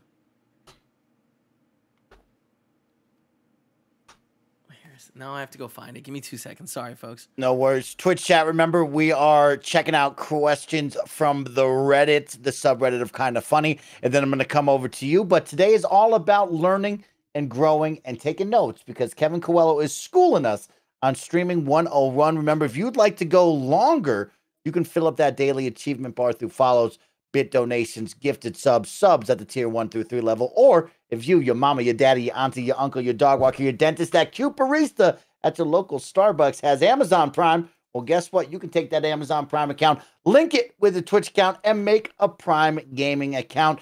Prime Gaming gets you two awesome things each and every month. Twitch and Amazon Prime are going to send you monthly gaming deals. Maybe it's awesome cosmetics in a certain video game you like. Maybe it's free DLC. Maybe it's a free game. I don't know. But they're sending you free stuff. And then most importantly, each and every month, you get one free sub to any broadcaster here on Twitch. So take that money from Amazon and give it to the people you love. Maybe it's us here, Kinda Funny. Maybe it's my good friend Tam over there in the Twitch chat, or maybe it's some other streamer. But remember to take advantage of that because you definitely want to use Twitch Prime because it's so, so great.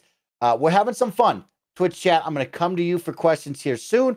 Kevin's continuing to answer all the questions from the Reddit. We're having fun. And yes, this will be posted on YouTube, youtube.com slash Kinda Funny plays, along with our Monday and Tuesday streams. You probably have seen they're hung up in the processing cycle. As everybody knows, if you upload the videos to YouTube, sometimes they just get stuck and it sucks. But we will re upload those and we'll make it happen. Kevin, continue on as I step away for just a moment. All right. So then what we've gone is we have so stream labels, which I organized in the perfect way, and I don't know why I doubted myself. I should have just looked where it should have been. Has a bunch of different like lists that it creates. So session session top cheers, top uh, subscribe session session subscribers. Let's do that one. So you can introduce it there, and then uh, you can change a whole bunch of stuff. You can change the color, you can change the font. Go in there, what do we use? We use one that starts with a B a lot of times. Let's see. A, there it is. Hit OK. Hmm. Maybe this was a bad choice because it's not popping up with anything. Not enough of you guys subscribing right now. It would be real helpful for this test. Let's scroll. Let's scroll. I'm not seeing anything on there. All right. Maybe I'll change it to something else. Let's go to subs again. Uh, Easy enough, just hit browse. It's already going to open up in that folder. 30 day top donators. Sure. Top donations in the last 30 days. We can open that. Perfect. You can see it there. Okay. Awesome. Like, ugh, it's enormous. So, what we do to make our lives easier is we go in there and we hit transform, fit to screen. Bam. So now you have this giant list that should auto update if someone. Uh oh. Huh, that's weird. That should have done something else. Uh, but what we can do is then Alt, and why is it not pulling the right way? Mm, this is a issue. Interesting. What is... There's something going on where it's not grabbing the right way. Shoot. Recently, I'm pretty sure Andy told me about this issue resize output source size. Space output resolution will resize. Oh, that doesn't seem right at all. well, sometimes you break things. And it, this is why you need a control Z function. Damn it. uh, copy filter. Shit, where was that? Well, Mike, I broke everything for the first time ever on on. Uh, Hell yeah! See, Control Z uh, no longer works. That's, that's great. Funny. Reset, transform. Nope, that didn't work either. Damn, that's crazy. Can I? Sometimes when I break it fully, Kevin, I feel like I have to like completely delete the source and then go back and reset, like just redo it all. Do you well, notice that sometimes, Kevin? I mean, or is honestly, there a way to fix that? I've never had this happen before.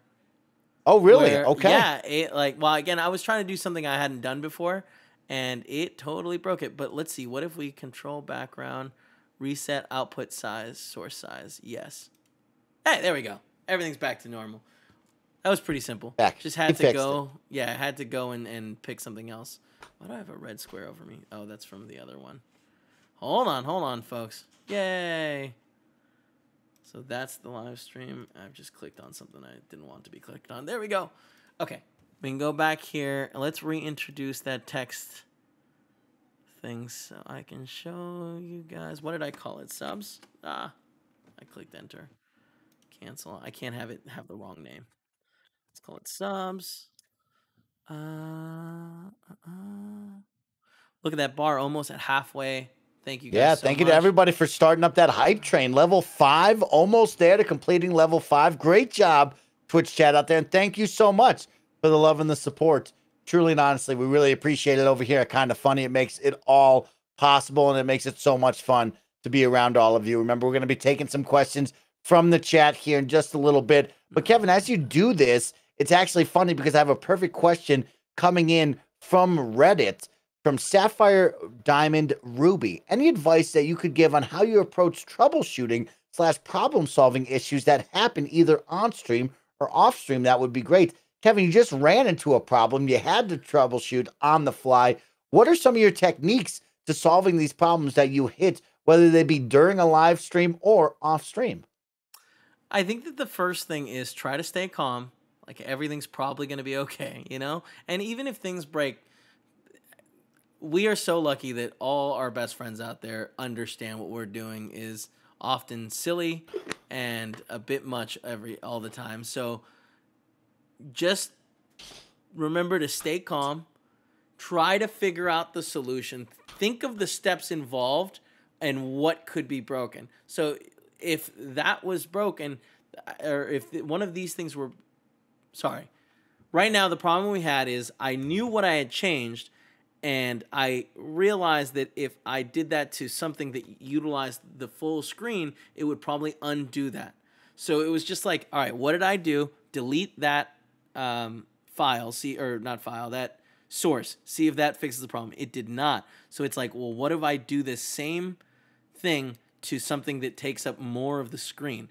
And it worked. So you kind of just have to try to stay calm and figure out how you can undo it or figure out where the leak is coming from essentially. Where's the issue? What do we what do we shut down so this you know uh, the leak will stop? And then how do we fix it? Yeah.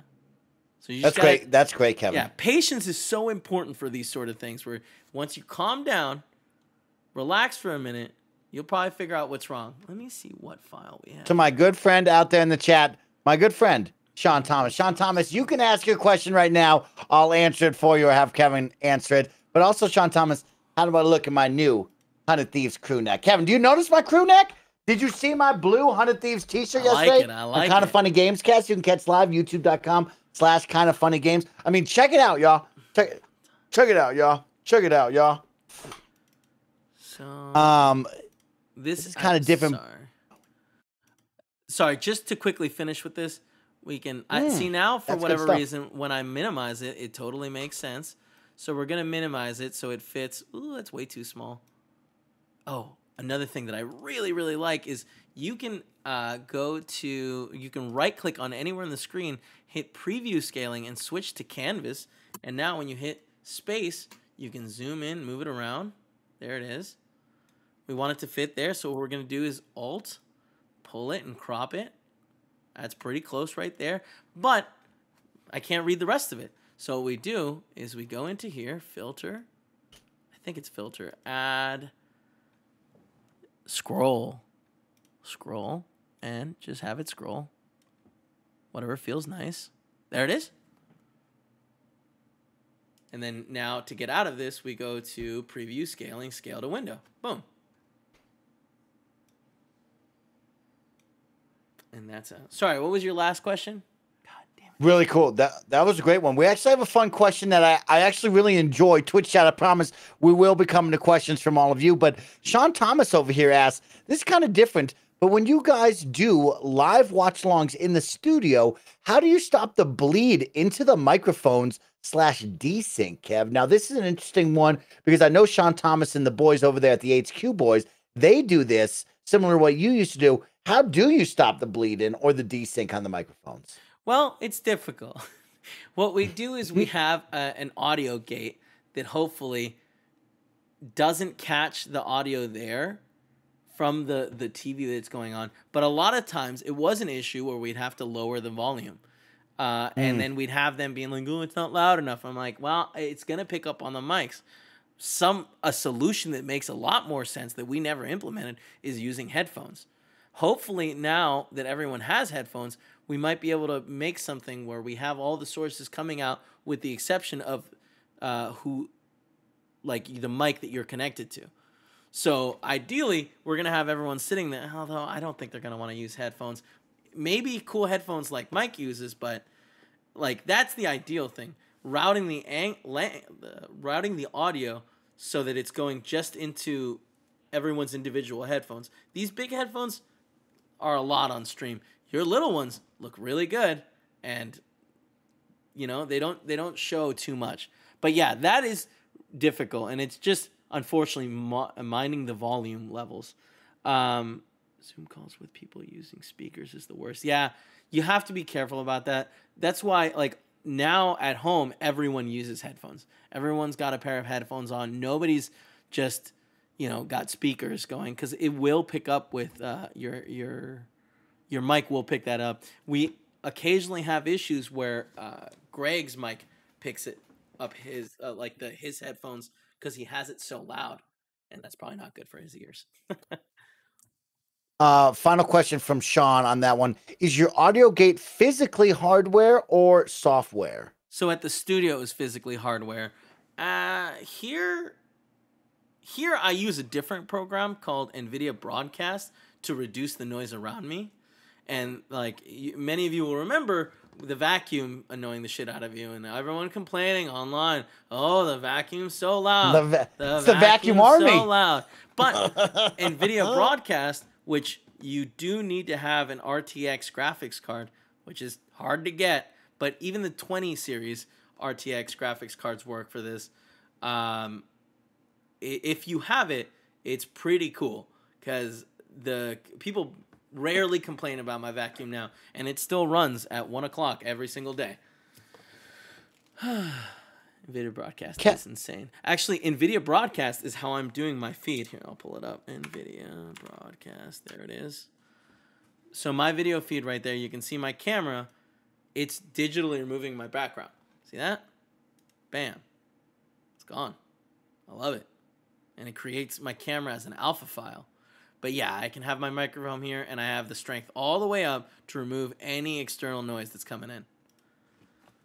Uh, let me very quickly add audio sources here so that people can see how we yeah, Kevin, here. set it up. We do. While we do that, I'll answer the question. Somebody said, Mike, what kind of headphones are these? These are Shure uh, earbuds right here. Uh, a good friend of mine, JD, helped me find that. If you remember back in the day, I actually had a nice setup with Astro A50s and what I was using with my mixer, of course, the GoXLR. But with the new console generation and the new Xbox not having that optical cable, actually, I was unable to have an easy setup like I've had with that Astro A50. So we moved on into these Shure earbuds. And I actually love this. I actually stole this from Andy Cortez and Sancho West Gaming. I really like the look of the broadcast, the feel of it. When you look at me in the camera, you don't see these big, bulky headphones, as Kevin was talking about. And I actually have become more of an earbud guy. I like the look of it, I like hiding the cables behind me, and uh, absolutely love this. So just something to think about. Just, you know, personal preference, but something I loved. All right. So earlier in the stream, I showed you how to route your Discord audio to your wavelink. So now I'm creating an audio source. Uh, is that what it was called? Let me do it one more time. Add, because there's two different types. You have audio input and audio output. So I'm using an audio output capture, and I'm calling it Discord chat. Uh, and then I'm introducing it here, and we get a long list of stuff, and one of them should be Discord chat. Or wavelink chat is what it would be called. Now, this is tricky because we're also wavelink voice chat. There it is and we're bringing in.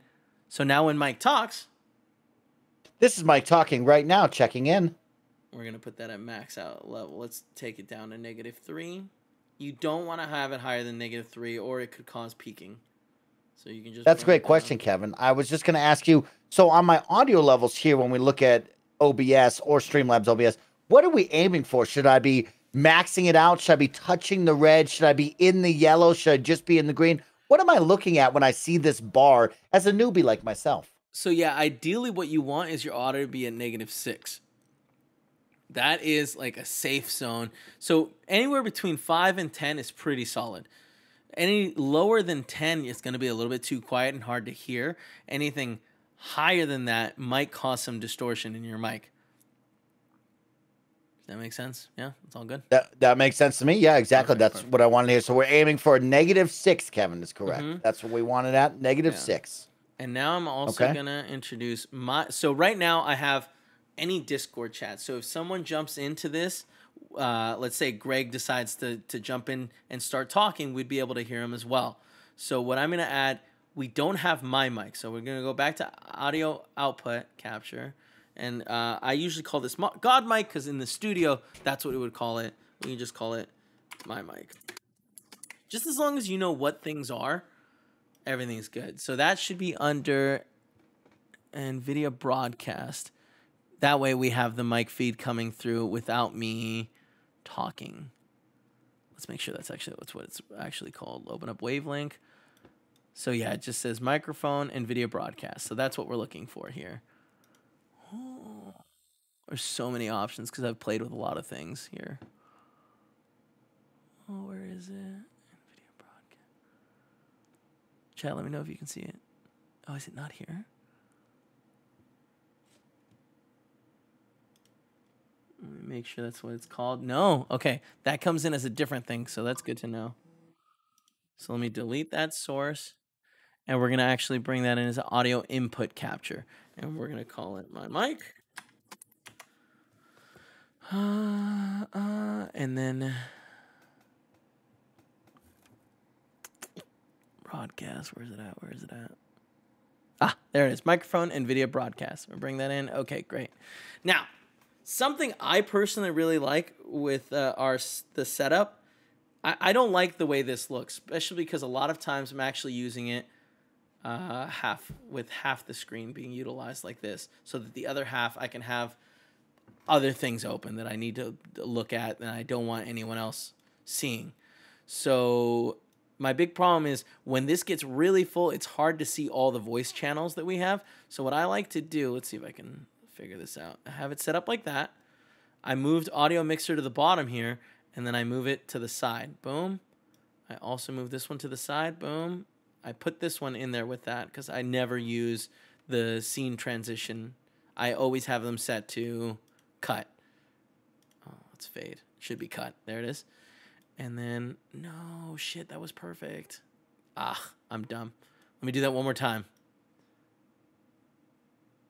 there on the bottom there. And this is something that I have to show Barrett, so hopefully he watches this and then I don't have to show him. The side. Because this makes it a lot easier to see all your audio channels. So now if I stick more audio channels down here, oh, I need to lower that too. Negative three. I wish there is a way to do this. So if you open this up, you can go to advanced audio preferences here we go. And you can set whatever you want. So you can set it to negative 6, not negative 66, just negative 6. And then set this one to negative 6. If you have any sort of audio sync issues, like um, at the studio, the board would be 200 milliseconds faster than the video. So we would have to put a 200 millisecond delay, and we would add that here. Um, also, important to note, you can record several different audio tracks. So right now, it's just recording to all six tracks. There's zero reason to do that. So what I like to do is I'll just set it to record to track one. Stream boss, stream boss. Uh, uh, uh, uh. and for editing purposes, when we're doing gameplay, I will also set all the audio to track three.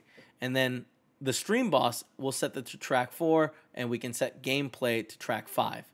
That way, if our editor, like Roger, wants to go in and lower the gameplay audio, he'll have all these extra tracks.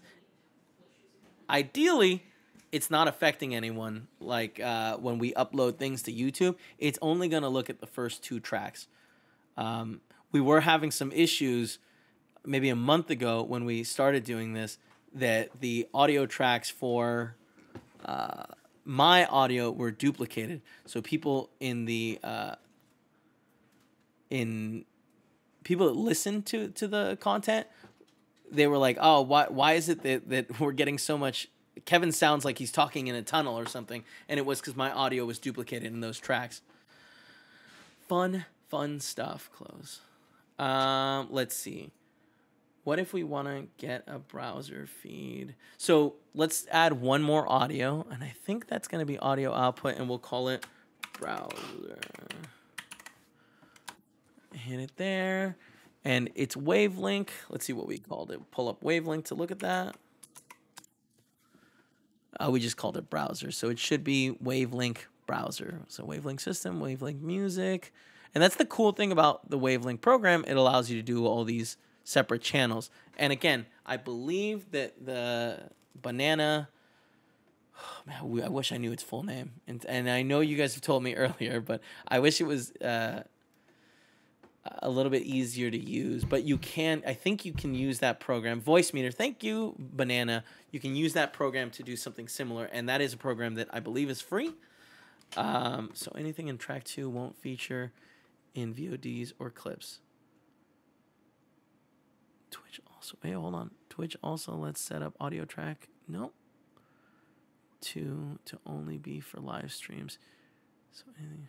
Yeah, that's which is really interesting and cool. Uh, so Snatchy, is that right? Snatchy Buckles in the chat says that he can that Twitch allows also lets you set up audio track two to only be for live streams. So anything in that track won't featured in VODs. There's a lot of cool stuff like that that you you gotta really figure out to get there.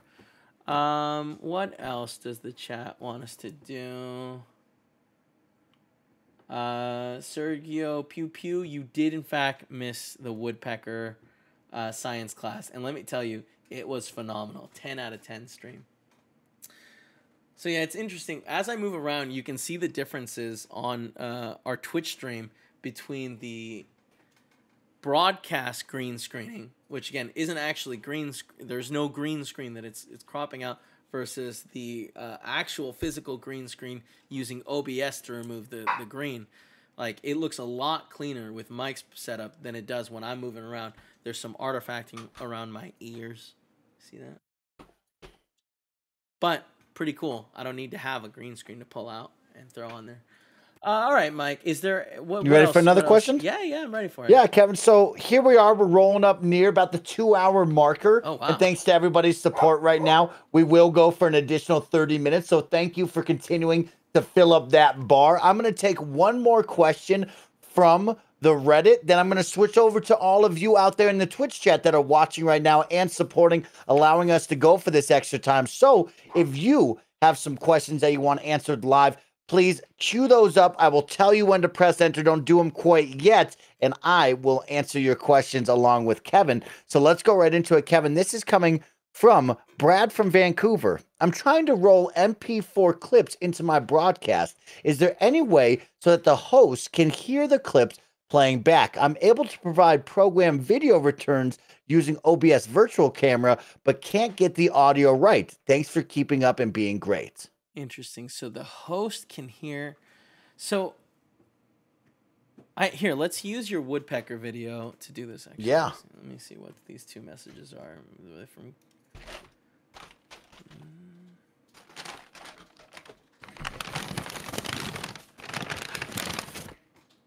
okay, that's some later stuff. Um, uh,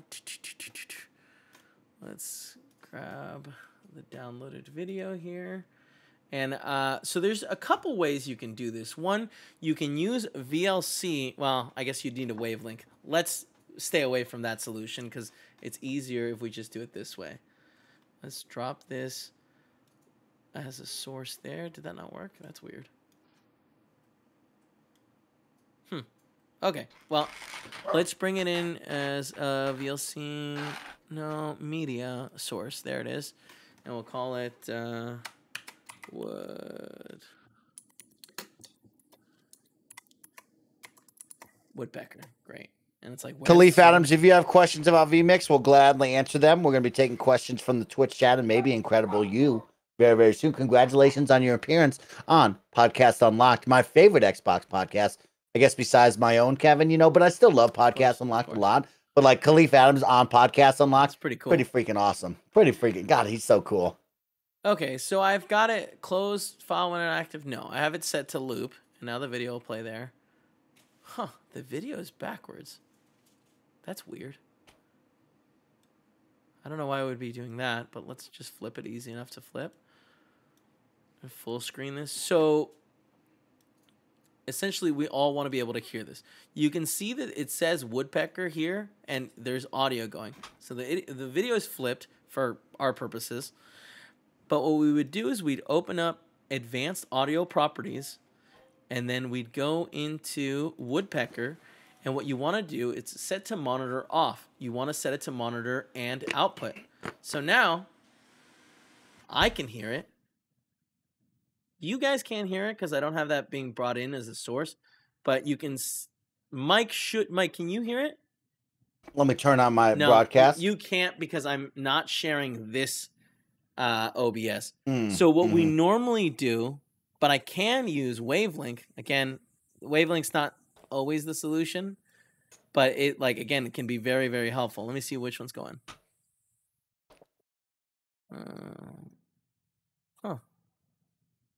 I guess what we'd want to do is bring in this OBS. I'm not going to do this because it's going to break my setup, but uh, what you then do is you capture this OBS feed by uh, sharing your window on uh, t- on Discord.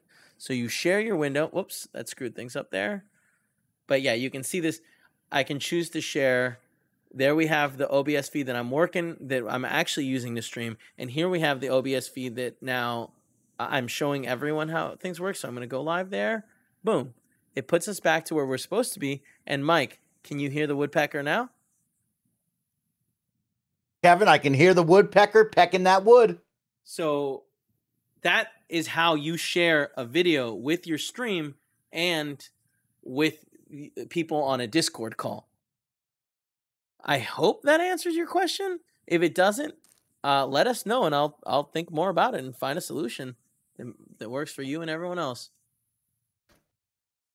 Great job, Kevin. Let's take some questions now from the Twitch chat. So please, Twitch chat out there, queue up those questions, comments, and concerns, whether they be about streaming on OBS or through vMix, as of course our good friend Spawn on Me, Khalif Adams would like to know. But if you have any questions, please let me know. Price coming in right now. What recording options do you use in the studio with the Blackmagic switcher? Looking for a Blackmagic design solution if you have any to recommend, Kevin. Hmm. Not 100% sure I understand the question. What recording solutions? So we use the Hyperdeck, I think is what it's called. Let me see. Hyperdeck. Is that what it was called? Hyperdeck.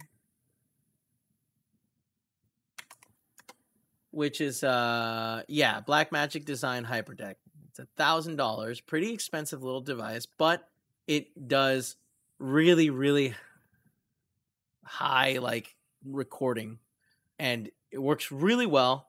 We have had issues with it, but it was because the studio was really hot, and I think we melted it a little bit. And we reached out to Hyper or, or to Blackmagic, and they had to send it back, and we got it replaced. They replaced the component that had melted. Um, so let me show it here. Let me turn the woodpecker off. Turn the right screen on. So yeah, you can see is the this is the HyperDeck we use to record, and it records files in massive. Like we have it set to the lowest setting, which is just higher than we need. But as of right now, we've been doing we've been doing recordings, uh, just using uh OBS. So we just have uh, we hit start recording and it records MP4 at something like 15 megabits a second, and the quality has been pretty good. I haven't heard too many complaints about it, and uh, it it does its job. So maybe save your money on something big like this and just use OBS. Going forward, we're going to continue to use the stream uh, the hyperdeck, but uh, it's mostly because we already own it. You know. Love that. Uh, yeah. Robo Borealis asks, "Can you do quote virtual quote screen in OBS if I don't have enough monitors? You know, I I don't know. I'm thinking right now if there's a way. I'm sure that there's a way you can set up a virtual screen, but uh, you could do this without without all the screen grabbing. So if we wanted to, we could minimize this. Here, let's let's try to redo this page on one screen. It's a fun little challenge. Uh, and that's as small as that'll go. Let's do this like that. So you see what happens is things get cropped differently. So let's do rename this to three mon setup. And then we're going to create a new source that is a single monitor setup. One mon setup.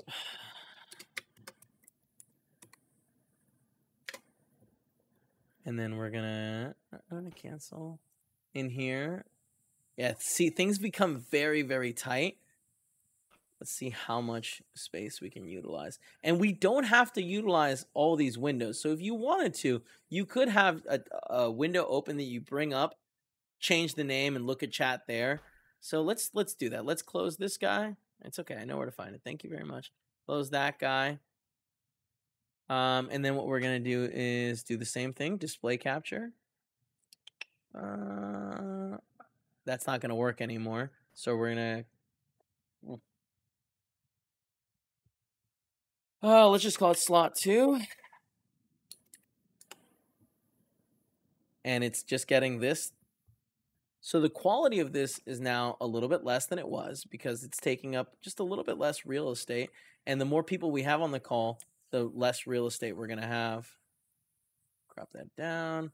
Same thing. Filters. Add chroma key on there. Green. That's that's fine. Putting that guy right there. Now we're going to do one more. Slot one. Display capture.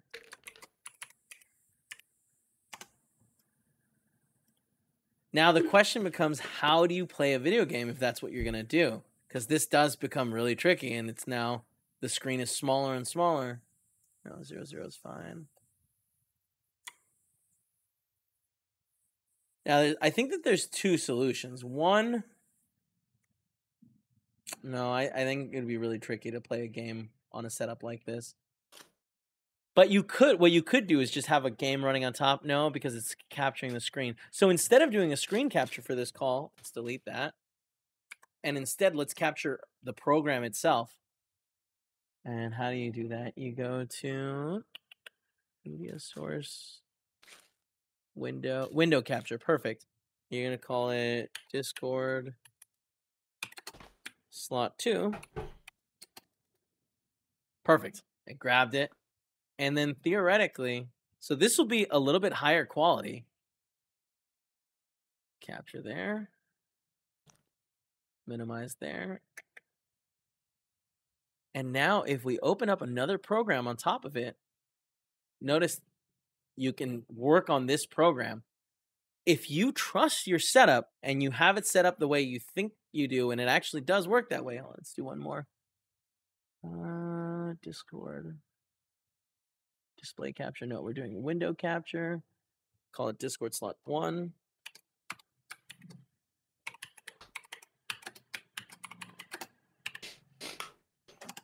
Now I can't see the chat, Mike. Uh, we can turn off capture cursor. So if they're saying anything that I need to respond to, you have to let me know. Uh, uh,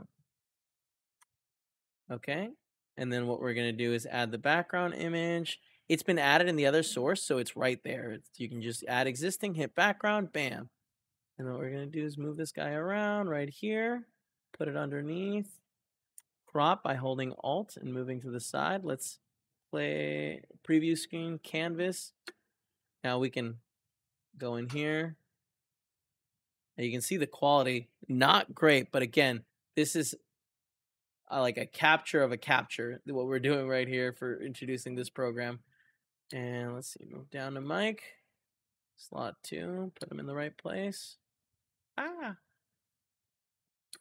Zoom out a little. There it is. And to zoom out, you, uh, well, to move around when you're in this canvas mode, you hit the space button. And that allows you, as long as you're holding the space button, you can move around or zoom in and out. And this allows you to do a lot of the fine detail that can be tricky to do when your screen is not very big. Oh, we need to go a little higher on that. Sorry, Mike. There it is. And crop. I always like cropping the sides because I'm a psychopath. Okay. Ah, still missing a top there, aren't we? Still missing. No. Ah, I see what's happening. My screen needs to be cropped a little bit more. Perfect. There we go. Uh, still getting a, lot, a little bit of mic on there. There it is. So I know that Andy is a bit of a stickler and kind of like, you know, I don't do the best job because I, I move around quickly, but Andy, I really enjoy that he can come in and be like, yo, you need to crop a little bit more there. And it's like, fuck, because I don't notice those details, and it's cool to have someone that does. So then what we can do, let's pretend we're gonna play a sweater. So what is that? Got that on my desktop. Give me one second. Gonna minimize it, which freezes the videos there. And then let's go back to Discord. There we go. Sweater should be opening up now. Super annoying. It makes you put a password in every time. I don't know why. You know, it's my house. You should be able to figure that out. That's not the right password.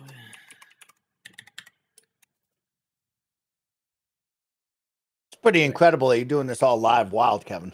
Great. Yeah. Oh, oh, sorry. So what we're gonna do here is hit play. Now this is where things are gonna get tricky because sweater takes over everything. So I'm not, and like we're pretending we only have one screen. So let me see how this works. CPU is still around sixty percent, not too crazy. I just went away. Why? Up there it is. There it is. It's taken over. I can't see anything else. So we're gonna switch back to OBS, and then we're gonna add video capture game. Look at Kevin doing all this on the fly, people. This is wild. Uh, capture any full screen. Yeah, let's see that. All right. And so now, hmm, but there's no way to confirm it. That's funny. so just for my edification, I'm to move this over. Oh, perfect. Okay. I'm going to stick this on another screen. See if I can show you. The gameplay is frozen. That's interesting. Okay, my camera's frozen, but I think that's just because I minimized OBS. I sure.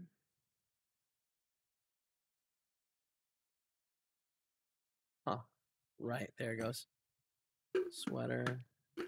And sorry, where's the. Yeah, unfortunately, if we're pretending this has one screen, this does totally work. And yeah, it's uh, here we can show it there. So you would hit start streaming, switch over to sweater, and just assume that everything is working Game. there. Yeah, and then open up your phone, and you can have uh, Yep. The uh-huh. chat there. So there is there is ways to do this with your friends on more than one screen, on on only one screen. Is it easy? No, no, no, no. It's n- not at all. Very, very tricky. But you can figure it out. You can make it work. Great job, Yes. Kevin. Good answer on that one. Yeah. Uh, up next, coming from cost. Cost is me, sir. I'm cost is on me. I'm not watching or listening, so sorry if this has been answered earlier. What GPU slash RTX card are you using, Kevin? Nice, easy one from the chat. Yeah, so we have a 3080. We used to have a 2080 Super, and I kind of feel like the numbers when not playing games, when streaming, were a little bit stronger. But the 3080 is kind of built for gaming, not so much for all the uses that we're doing here. Also, we're really, really pushing the limitations of what we should be doing. Like I've told you, that when we use vMix, it has issues, but that's because like specifically it says not to do more than three SRT streams at once, and we often do four, and even more than that, we've done six. I would really like to test ten or twelve. So I'm One day sure we we'll, will we'll do do. that. Yeah, I know. Will it burn the Uh, computer down? It might.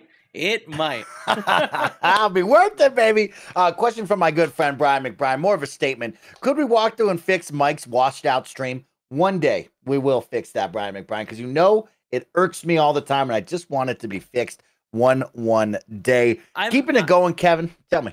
about that screen issue, I'm really curious to see what your default settings are for the the just the brightness and all of that on the computer because it it might be the gaming computers you've kind of got messed up the the uh, output settings, and that's what's happening. Like it's going out to that HDMI, and the colors are uh, the colors are a little washed out.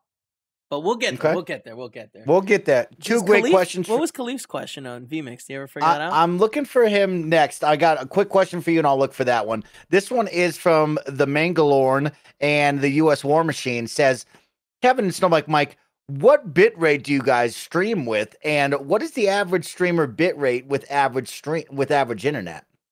Uh, so pretty much the highest that you can do on Twitch is six and a half megabits a second, and then on YouTube, I think that like, I think it's like ten. So you're very limited with those numbers because that that's it. That's the highest you can do. Can we do more? Yes. When Andy streams to me, he is streaming at 30 megabits a second, and I think Barrett streams typically at 15 megabits a second, and there's a significant difference in quality. The record quality that I'm getting from Andy's streams is prettier than our normal record quality because of that. We record in 15 megabits a second too. So really, Andy, there's no reason for him to send over 30 because we're not recording that high, but there is going to be some package loss.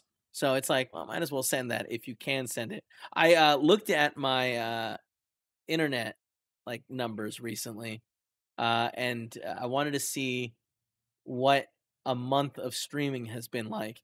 Six and a half terabytes. Thankful we have what is it? what do we? What do I use? I use um, Sonic internet, and it's uncapped, no like penalties for anything. So we are uploading and streaming a lot here. Uh, so six and a half terabytes in one month is is much higher than we ever did at the old studio. But we weren't transferring files to Cool Greg's computer then, so that makes sense to me why it's so high. But yeah, uh, the higher the bit rate, the stronger or the smoother the video looks. And anytime you have like particles happening, that's going to cause issues. Just internet's not quite there yet, but with Andy's setup, it's pretty damn close. It's it's pretty cool. Really, really cool, right?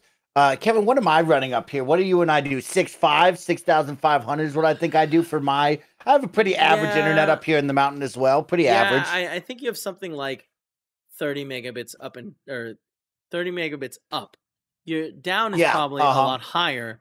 Um, and yeah, the, the most we can usually get out of your setup is under 10 megabits a second. Under 10 for sure. Yeah. Yep. And it's the same with Greg and Nick because they also are in the same levels. A lot of places here in the Bay Area can get you a thousand megabits down, but the up is not as important for most people. It is for us, and it's really cool to have symmetrical 1000 up and down because it means we can send massive streams while receiving massive streams using the SRT streaming.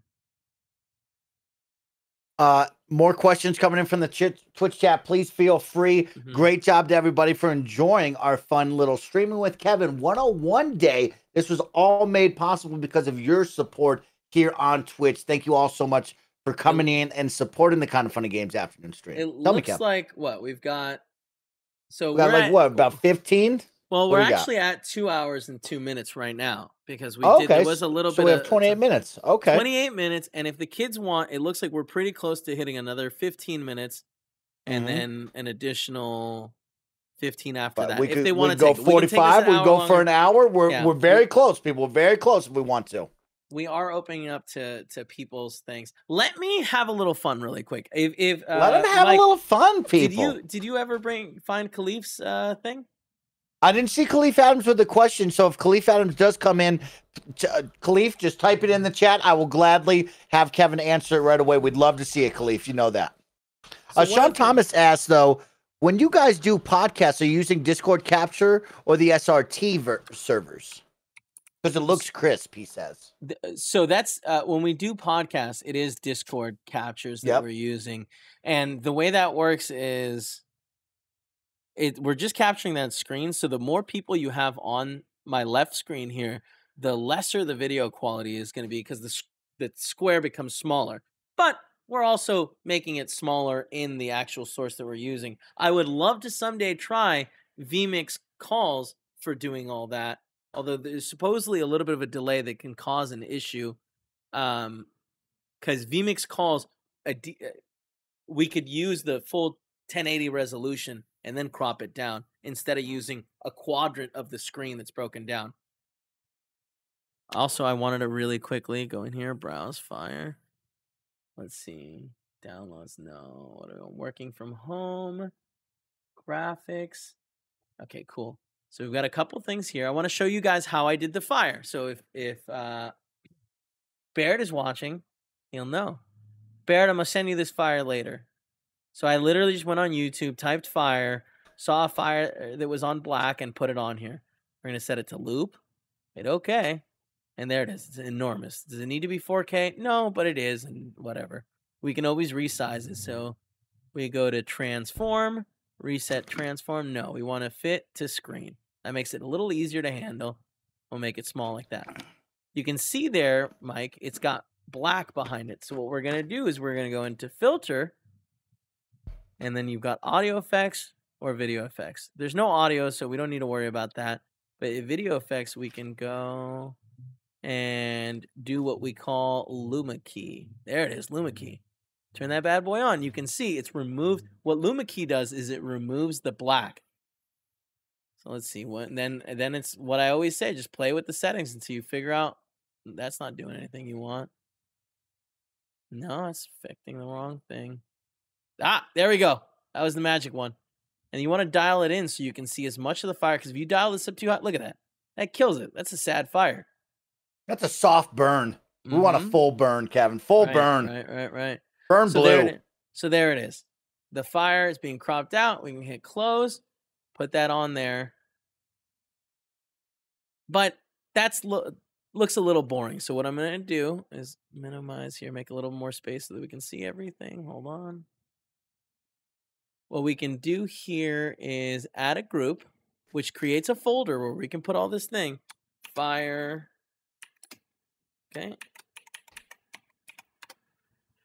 Put the fire in there, and what we're going to do is then duplicate the fire three times is what I did. Toss the fire in there. And now we can grab the fire. Oh,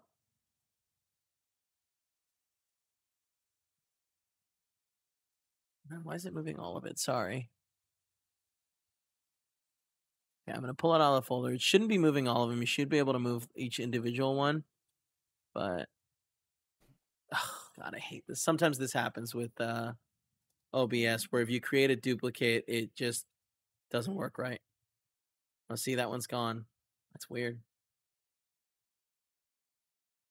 All right, let me delete that and do that one more time. This is why the control Z function would be so good. So again, we go to media source. We're going to call it fire. Browse. There it is. Perfect. Transform. Where's the transform button? There it is. Transform to fit to screen. Then minimize it. Add an effect on there. Actually, why don't we here do copy? Copy. Then we're going to paste. Duplicate is not an option. It should be. That's weird. But let's make sure. Yeah, we can move it now. And one more. Perfect. And let's move that one too. Great. So now we have three fires. We can once again go into filters, add effect, Luma key. And we're going to Luma min smooth because we figured it out with last one. We're still getting a little bit of gray. Whoop. Ah, we forgot to set it to loop this time. So go into the right or click on it, set it to loop, hit OK. Does that affect all three of them? It absolutely does. And look, the Luma effect also is there. So to differentiate them a little bit, I'm going to flip one of them, maybe make it a little bit smaller. So it doesn't, so you can't just tell that we've got the same fire going on there. Okay. Uh, uh, uh. something like that. Uh, and then I'm going to stick all three of these in a folder called Fire Effect.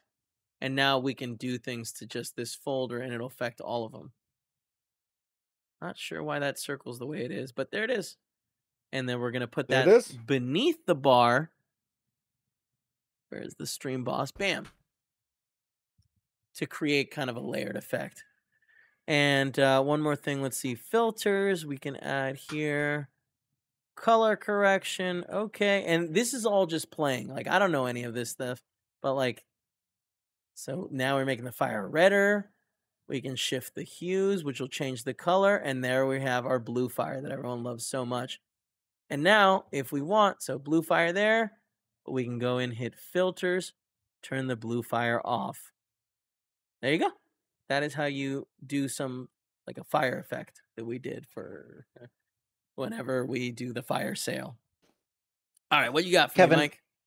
I had a great question coming in from Reddit, and they wanted to know how do you make it so easy for Barrett to pick up the streams or even Mike to pick up the streams? This is something you and I, you taught me, but you set us up with different profiles, Kevin, Oh, right? You cool. made different loadouts for me and Barrett depending on what we can and can't do. But like, how did you make it so easy for it to be a blink of an eye switch, but still look so good?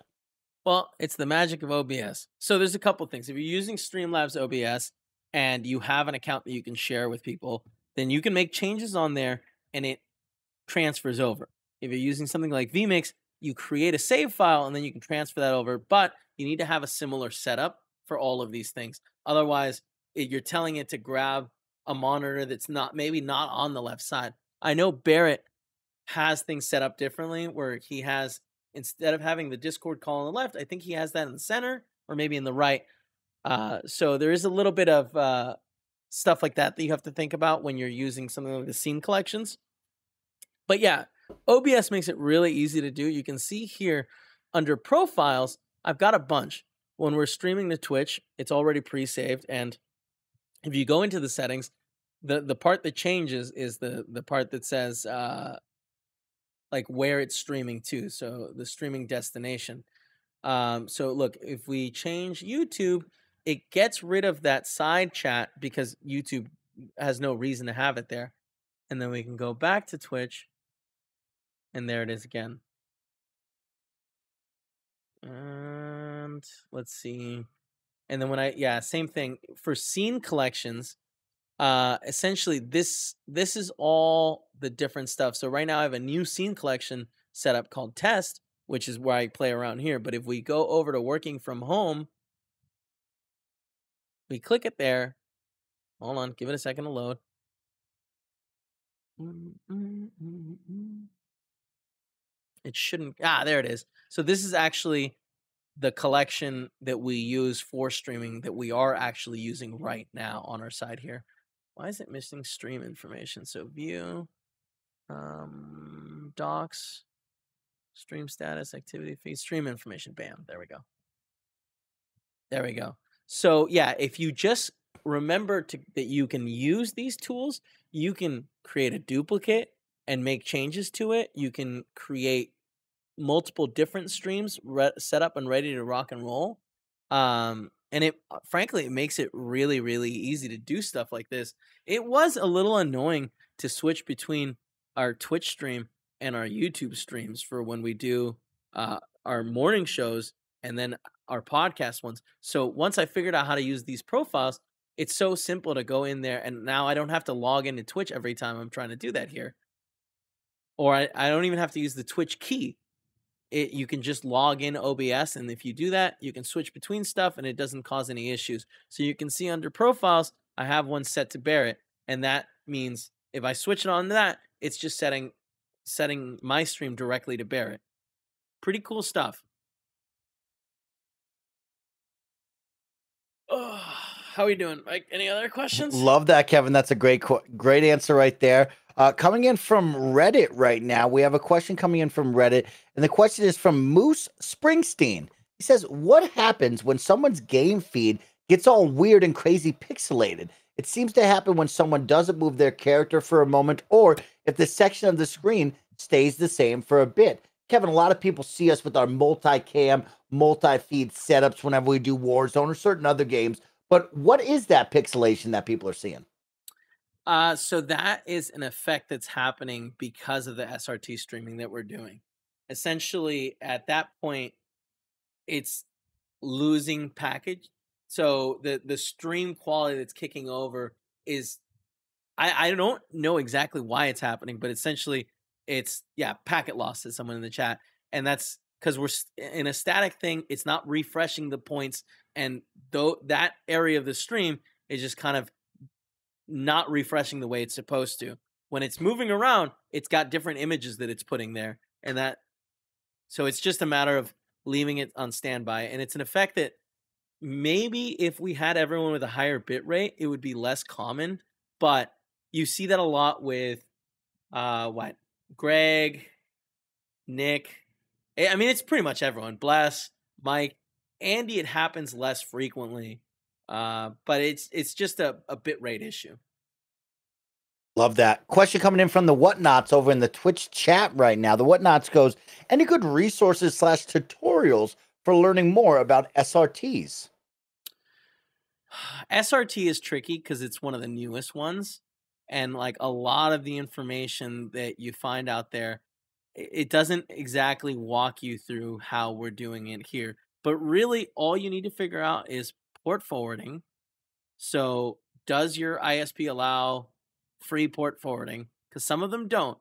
And then once you've got that set up, it's that string of code that we put up there. I'll bring it back up right there your IP address is going to go where all the X's are, and then the port that you forward opened up is where the Y's, and then you just send that information to whoever is streaming to you, and that that should be it. But the port forwarding does get tricky. It's not easy to know, and like you have to find a port range that your computer has open. Kevin, Well, question coming in from, oh, yeah, keep going. Oh, so, so uh, sorry. Snatchy Buckles in the chat says SRT Oh. latency settings can resolve this issue. A higher buffer can avoid packet loss. Going from 200 to 300 makes all the difference. But I do have people already coming to me being like, "Oh, it's it's delayed because for every, you know, that that that adds an extra millisecond of delay and like you think that that's not much of a difference, but there's many times on stream where Andy will shoot someone and be like, "Oh, it's a headshot," and then we see it, and it kind of like lessens that effect. And it's, I mean, obviously, I'm not. It's not just Andy. Literally, everyone has that where they they'll like. Yesterday, we were playing uh Mount Your Friends, and there were a couple moments where like you can see that Nick had or Nick talked about falling, and then he fell. So the more that we put that latency in, I, I don't think the the screen tearing that way or the, the video tearing that way is that big a a, a, deal. But um, if more people bring it up, we'll probably add more of a latency, and then we'll balance to see if more people are upset about the latency.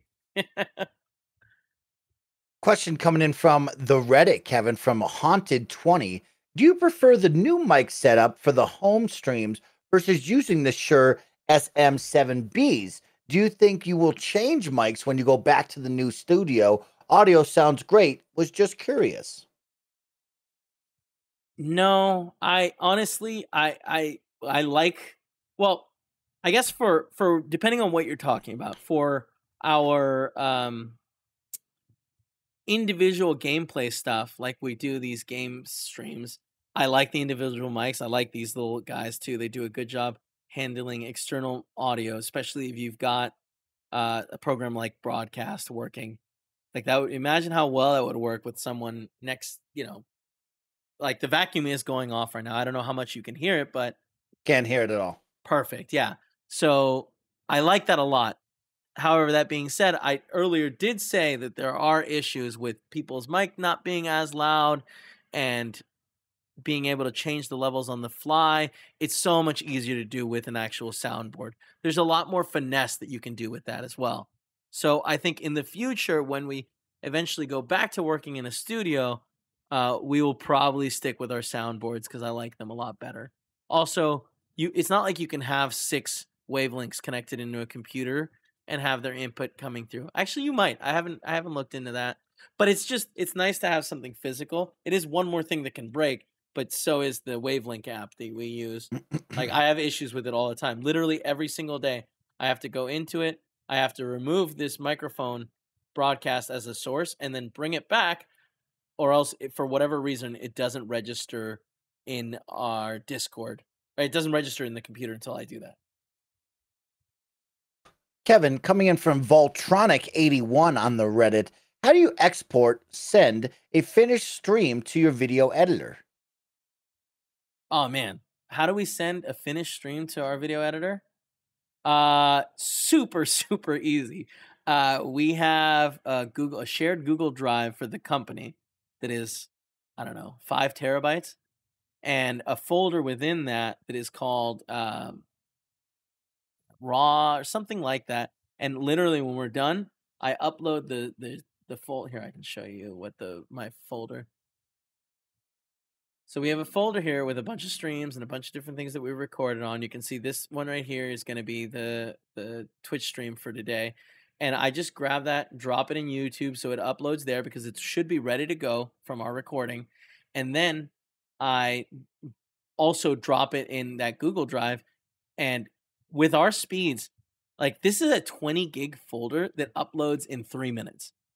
Uh, and then Greg, Cool Greg, also has the same internet that I do, so he can just download the folder or download the video and edit on it, and then upload it to Patreon, um, sometimes YouTube, depending on what it is or where it's going.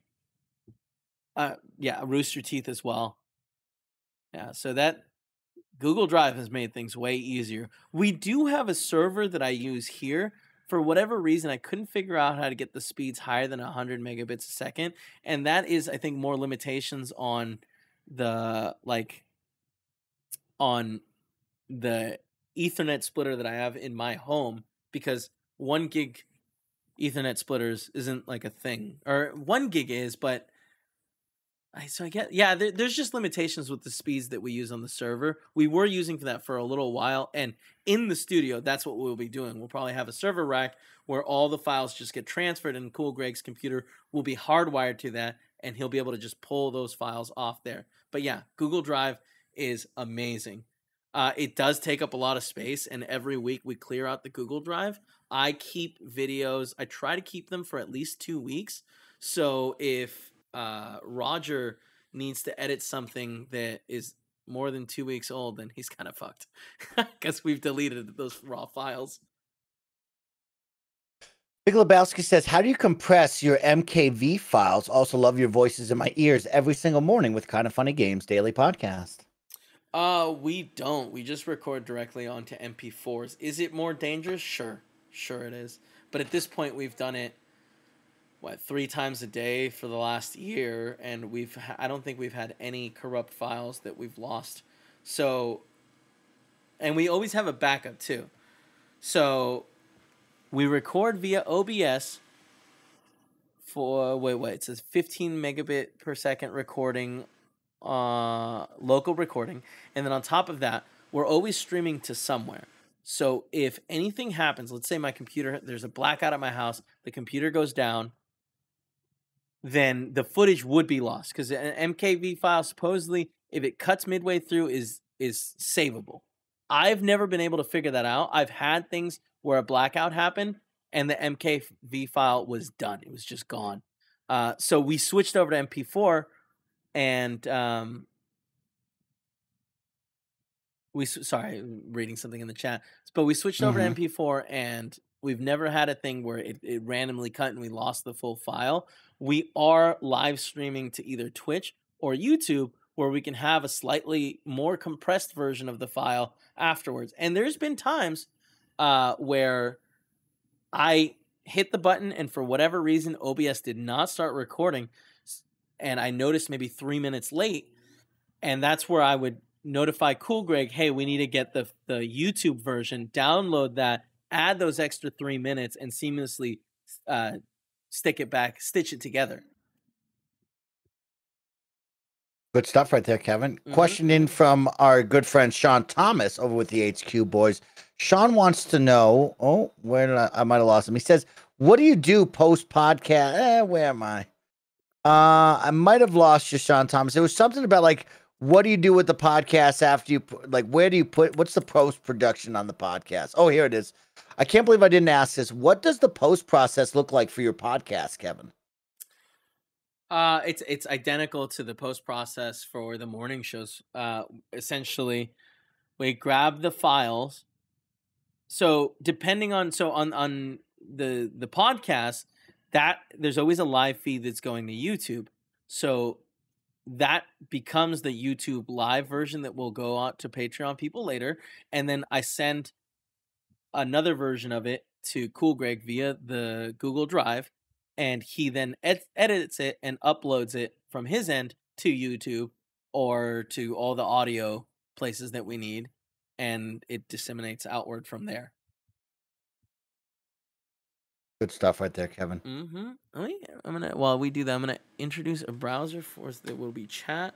I've never done this before because there with Streamlabs you can get a chat option, but I'm gonna do that without using Streamlabs by just entering our chat link in there and see how that works. Okay, see if this works. Great, yeah. So you can see there's the source. So what do we want to do? We're gonna want to get rid of the white. Let's see if this works. What do we do? We go to filter, effects, chroma key. Yeah. And instead, we're gonna do custom. Select a color. Oh, pick screen color. Bam. Okay. Oh, but all the text went away too, did it? Turn that effect off. Or we just can't see it. Hmm. But I'm not sure why that didn't work. Maybe similarities down. Hey, look at that. So yeah, you can use Streamlabs to introduce text, or you can just do that. Doesn't look super great, but we can. You play with, you tweak these little settings here, and eventually some of the stuff starts coming back. Uh, all right, Snowbike Mike, you want to hit me with another one? Yeah, of course, Kevin. I love asking you questions, and I love hearing all of your answers, just like the best friends do out there. Uh, let's keep it going right now. See what else we got out there. Uh, uh, uh, uh, uh. Mm, it's too fine of a detail. Nicholas one two three says, "What kind of keyboard do you use, Kevin? And any other hardware you utilize for managing these streams?" Uh, sorry, give me two seconds. Let me delete that. That didn't work out the way I wanted to. I guess just use Streamlabs for the check.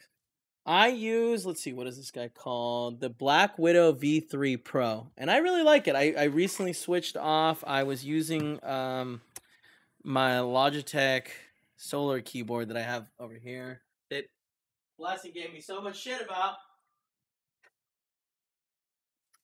But I really wanted something a little fancier with more clicking. Oh, it's it's it's cropping me out.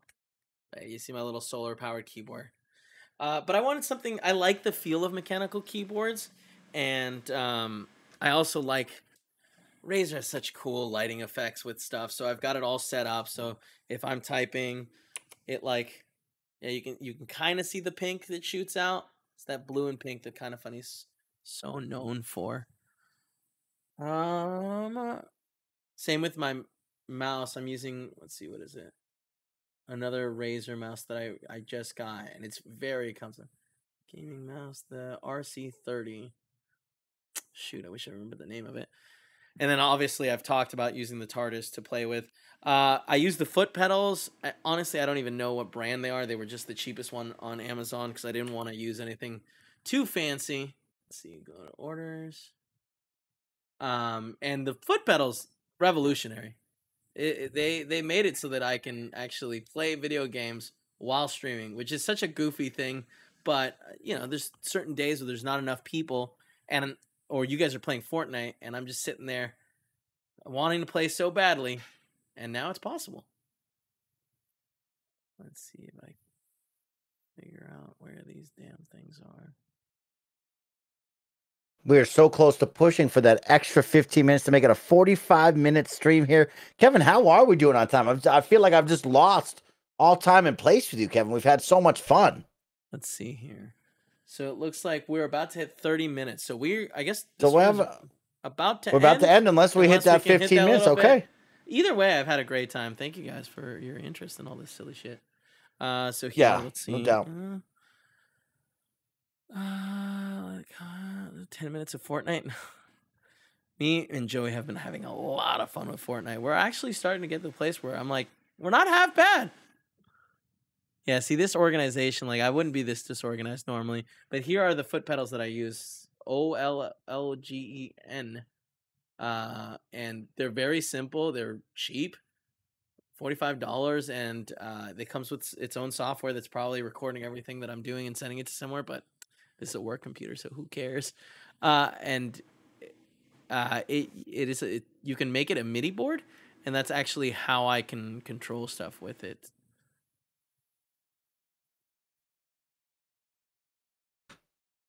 What kind of other streaming software have you guys used outside of OBS? What are your thoughts on Ecamm Live? I don't know what Ecamm Live is. Mhm, Sounds mhm. sounds sketchy though. You know what I mean? I was gonna say, is that one where Kevin has to get in the hot tub? Ecamm Live. Is that what it was called? Ecamm Live? E Cam Li- Ecamm two with two M's? M's live. Two M's, two M's, two M's. No, I'm I'm not familiar with it. it. Looks Not familiar. is it it looks like something like OBS or maybe a vMix. Uh someone is asking about resources for vMix. So they're asking for resources for SRT streaming. And there aren't many out there. Sorry about that. But there are a lot of resources for OBS and vMix. If you go online, vMix has its own uh software that or vMix has a YouTube channel that like they get really they give a lot of information on how to do stuff. It's actually really really cool. And I would absolutely be down for a hot tub stream. I just have to think about all the stuff that I need for it, which isn't much. Not much. Not much. You just got to get that beautiful body out there and having some fun. No, no.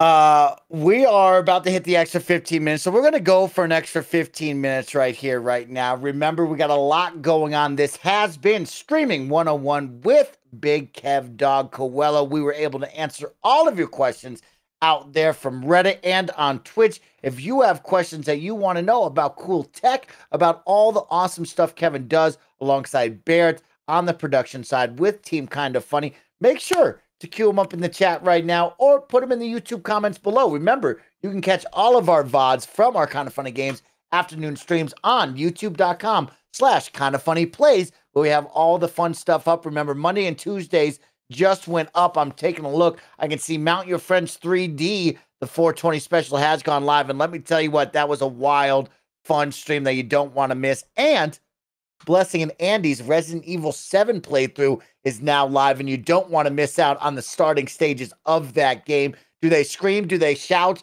Do we turn off lights and lock doors? Tune in to find out. Of course, tonight, twitch.tv slash Kinda Funny games, we will have an 80s action movie watch along with myself and Nick Scarpino and two incredible guests. Our good friend Joey Noelle and Greg Miller will join us for Roadhouse. So don't miss out on that one. Exciting Grab some popcorn and get ready for that. Tomorrow, we'll be back with another f- Kinda Funny games afternoon stream. Myself and Barrett will be playing games. We're going to play MLB The Show against one another. And we're also going to play probably some Fortnite because Barrett loves Fortnite and I love gaming with Barrett and all of you. Then on the Kinda Funny Xcast, we have a very special guest, Lord Cognito from the Iron Lords podcast, will join us to talk all things Xbox. So if you have any questions for him, remember you can tweet them at me or you go to patreon.com slash Kinda Funny games. You can upload your questions over there and get ready for the fun as we talk more Xbox with Gary Whitta, Perry, Parris Lilly, and myself, and a very cool guest that you definitely want to know about and hang out with. Kevin, this has been an incredible stream from woodpeckers to streaming. I think we did it all, Kevin. I think we did a really good job. So high fives all around, big dog. How you feeling about it? I'm feeling really good. Uh, someone in chat had asked how we do the zoom in thing, and it, I you right click on the screen, preview scaling, switch it to canvas. So I'm gonna show you guys one more time because this is very very helpful. And then you hold down space, you can zoom out by scrolling, and also move around by holding down space and then clicking and dragging. And then one more time, preview scaling, preview scale to window to put it back to the, the other way. Uh, This has been a lot of fun. And uh, I am still like, if anyone has any like fun challenges, I love figuring out new stuff all the time. Yeah, ch- we Um, definitely want challenges. Kevin wants challenges. Yeah. Speaking of Boris, there is his little cam. He's uh looks like he is sleeping. It's too cold for him to come out. Little Boris. I love there. that. Yeah. Love that live feed right there. Yeah. Yeah. Yeah. Uh, question coming in from Good Kraken Show. Would you generally recommend staying away from digital filters for audio through OBS and Streamlabs and focus more on mixing, or is there space for where those tools are necessary? I so it I mean there's definitely a space where those tools are necessary. We haven't we haven't uh gotten to that part where it's just like everything that we've needed to do, we've been able to do uh just via the very very like limited tools that we have here, where I can right click. You can see it there. I can right click on Mike's camera, and I can. I'm already boosting his volume to 180. So that means his here. I bring it down to 100. Mike, go ahead and talk for me. This is Mike talking to you right now on boosted 100 levels. So yeah, you can see if you look at the Discord chat that's right next to Mike here, he was coming in around negative 10. So I thought that was a little low. I just brought it up, and now Mike, go ahead and talk. This is Mike coming in on a different lowered scale, and I'm having a good time today. I'm having really, Yeah. really fun. Now he's coming in around negative six, and that is the ideal goal. Not having it too loud, but loud enough to hear. Yeah, ideally you want everyone to come in at the same, at like similar levels. That's why with vMix, it's so cool that, that here, let me open that up one more time. You can design it so that all the feeds that you're getting, um, you can set the audio. So this is just the default, but we're gonna go to open SRT mix. Okay. And then you can see all of the levels have been already adjusted and it saves the adjustment so that in the future when if we've got like Mike's feed is always really quiet. So you can see that that 303 is set to the top. Andy's and Nick's are louder and so to we lower it down so that we can get at Mike's level and all the audio comes in around the same level because ideally you never want someone's audio to be like blasting loud and when you cut to it all of a sudden there's a jump scare because it's so loud Uh, K-pop 1104 asks, "How will the Kinda Funny play streams work when you get to the studio?" And I'll tell you what, I'm really excited, Kevin, because I know you've been working really hard to make that space something really, really special. And I'm really excited for the opportunity to try something new, a little bit different, and work with the space that we've got and the team has created. And I think you're going to see something really, really fun. But we're excited about the idea of what that could be. Kevin, do you want to give him any teasers about that? You want to hold it close to your chest? uh no i'm, I'm down to give him teasers about it uh, i think it's i mean it's tricky to say so right now it's theoretical and it is difficult to buy computers so that's going to be another little problem in in in our flow of stuff but yeah ideally what we're going to do is we're going to have a room where we can record these gameplays and that's probably as much as i should go into detail there should be some fun and surprise and yeah yeah, yeah. again, there's a lot of stuff that we've learned from here. Um, I see people asking if Mike's gonna move to SF. Theoretically, there's really I don't know that there's a reason for him to move there because we could always bring in his source in the same manner that we've been bringing in, uh, like we're bringing him now. So especially if everyone's using headphones, he doesn't need to be there in person. Would I like him there in person? Sure. Look at him.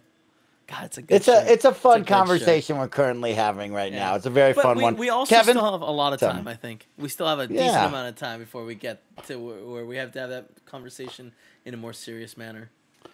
Kevin, as many of you know, I can't stop thinking about Pokemon, Kevin. I just can't Oh, stop thinking about Pokemon. So I got more Pokemon cards, Kevin, and I You have a need you before we end this stream right now. I need you to choose a number one through six. One being the top, six being the bottom.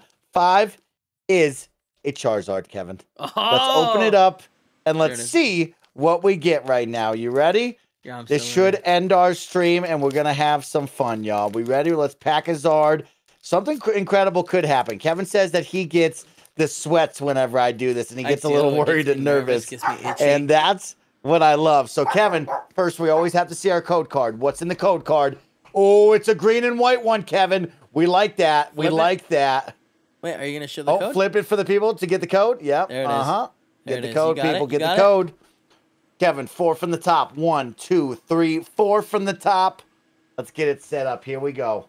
I got one of them grass cards. One of them grass cards. We got one of them Oh, grass which cards. is keying out. It's keying out in the camera. Ha ha. That's funny. Uh, it's some bear or a or Ursaring. Big scary bear. Shiinotic. Mushroom head. Vanillish. Oh, vanilla ice cream cone. Yep, yep, yep. A Tauros. Pretty cool. Is that a reverse hollow? Oh, that's gone now. Nope, negative. Pansage. Pansage. Little monkey. Broccoli head. Wishy wish. Wishy wishy. Oh, washy wishy-washy. washy, wishy washy, washy washy. Rocky D. All right, Here we Kevin, here down to the final here cards. Here we go. Dude named Aaron. Oh, Aaron. Okay. Oh reverse shit. hollow? A reverse hollow What do you got, Kevin? A reverse hollow Lugia. Lugia. Yeah, that's Okay, pretty cool. okay. That's pretty fucking cool. All right, here we go. Ready for this one? Yep. Holographic. What do we got, Kev?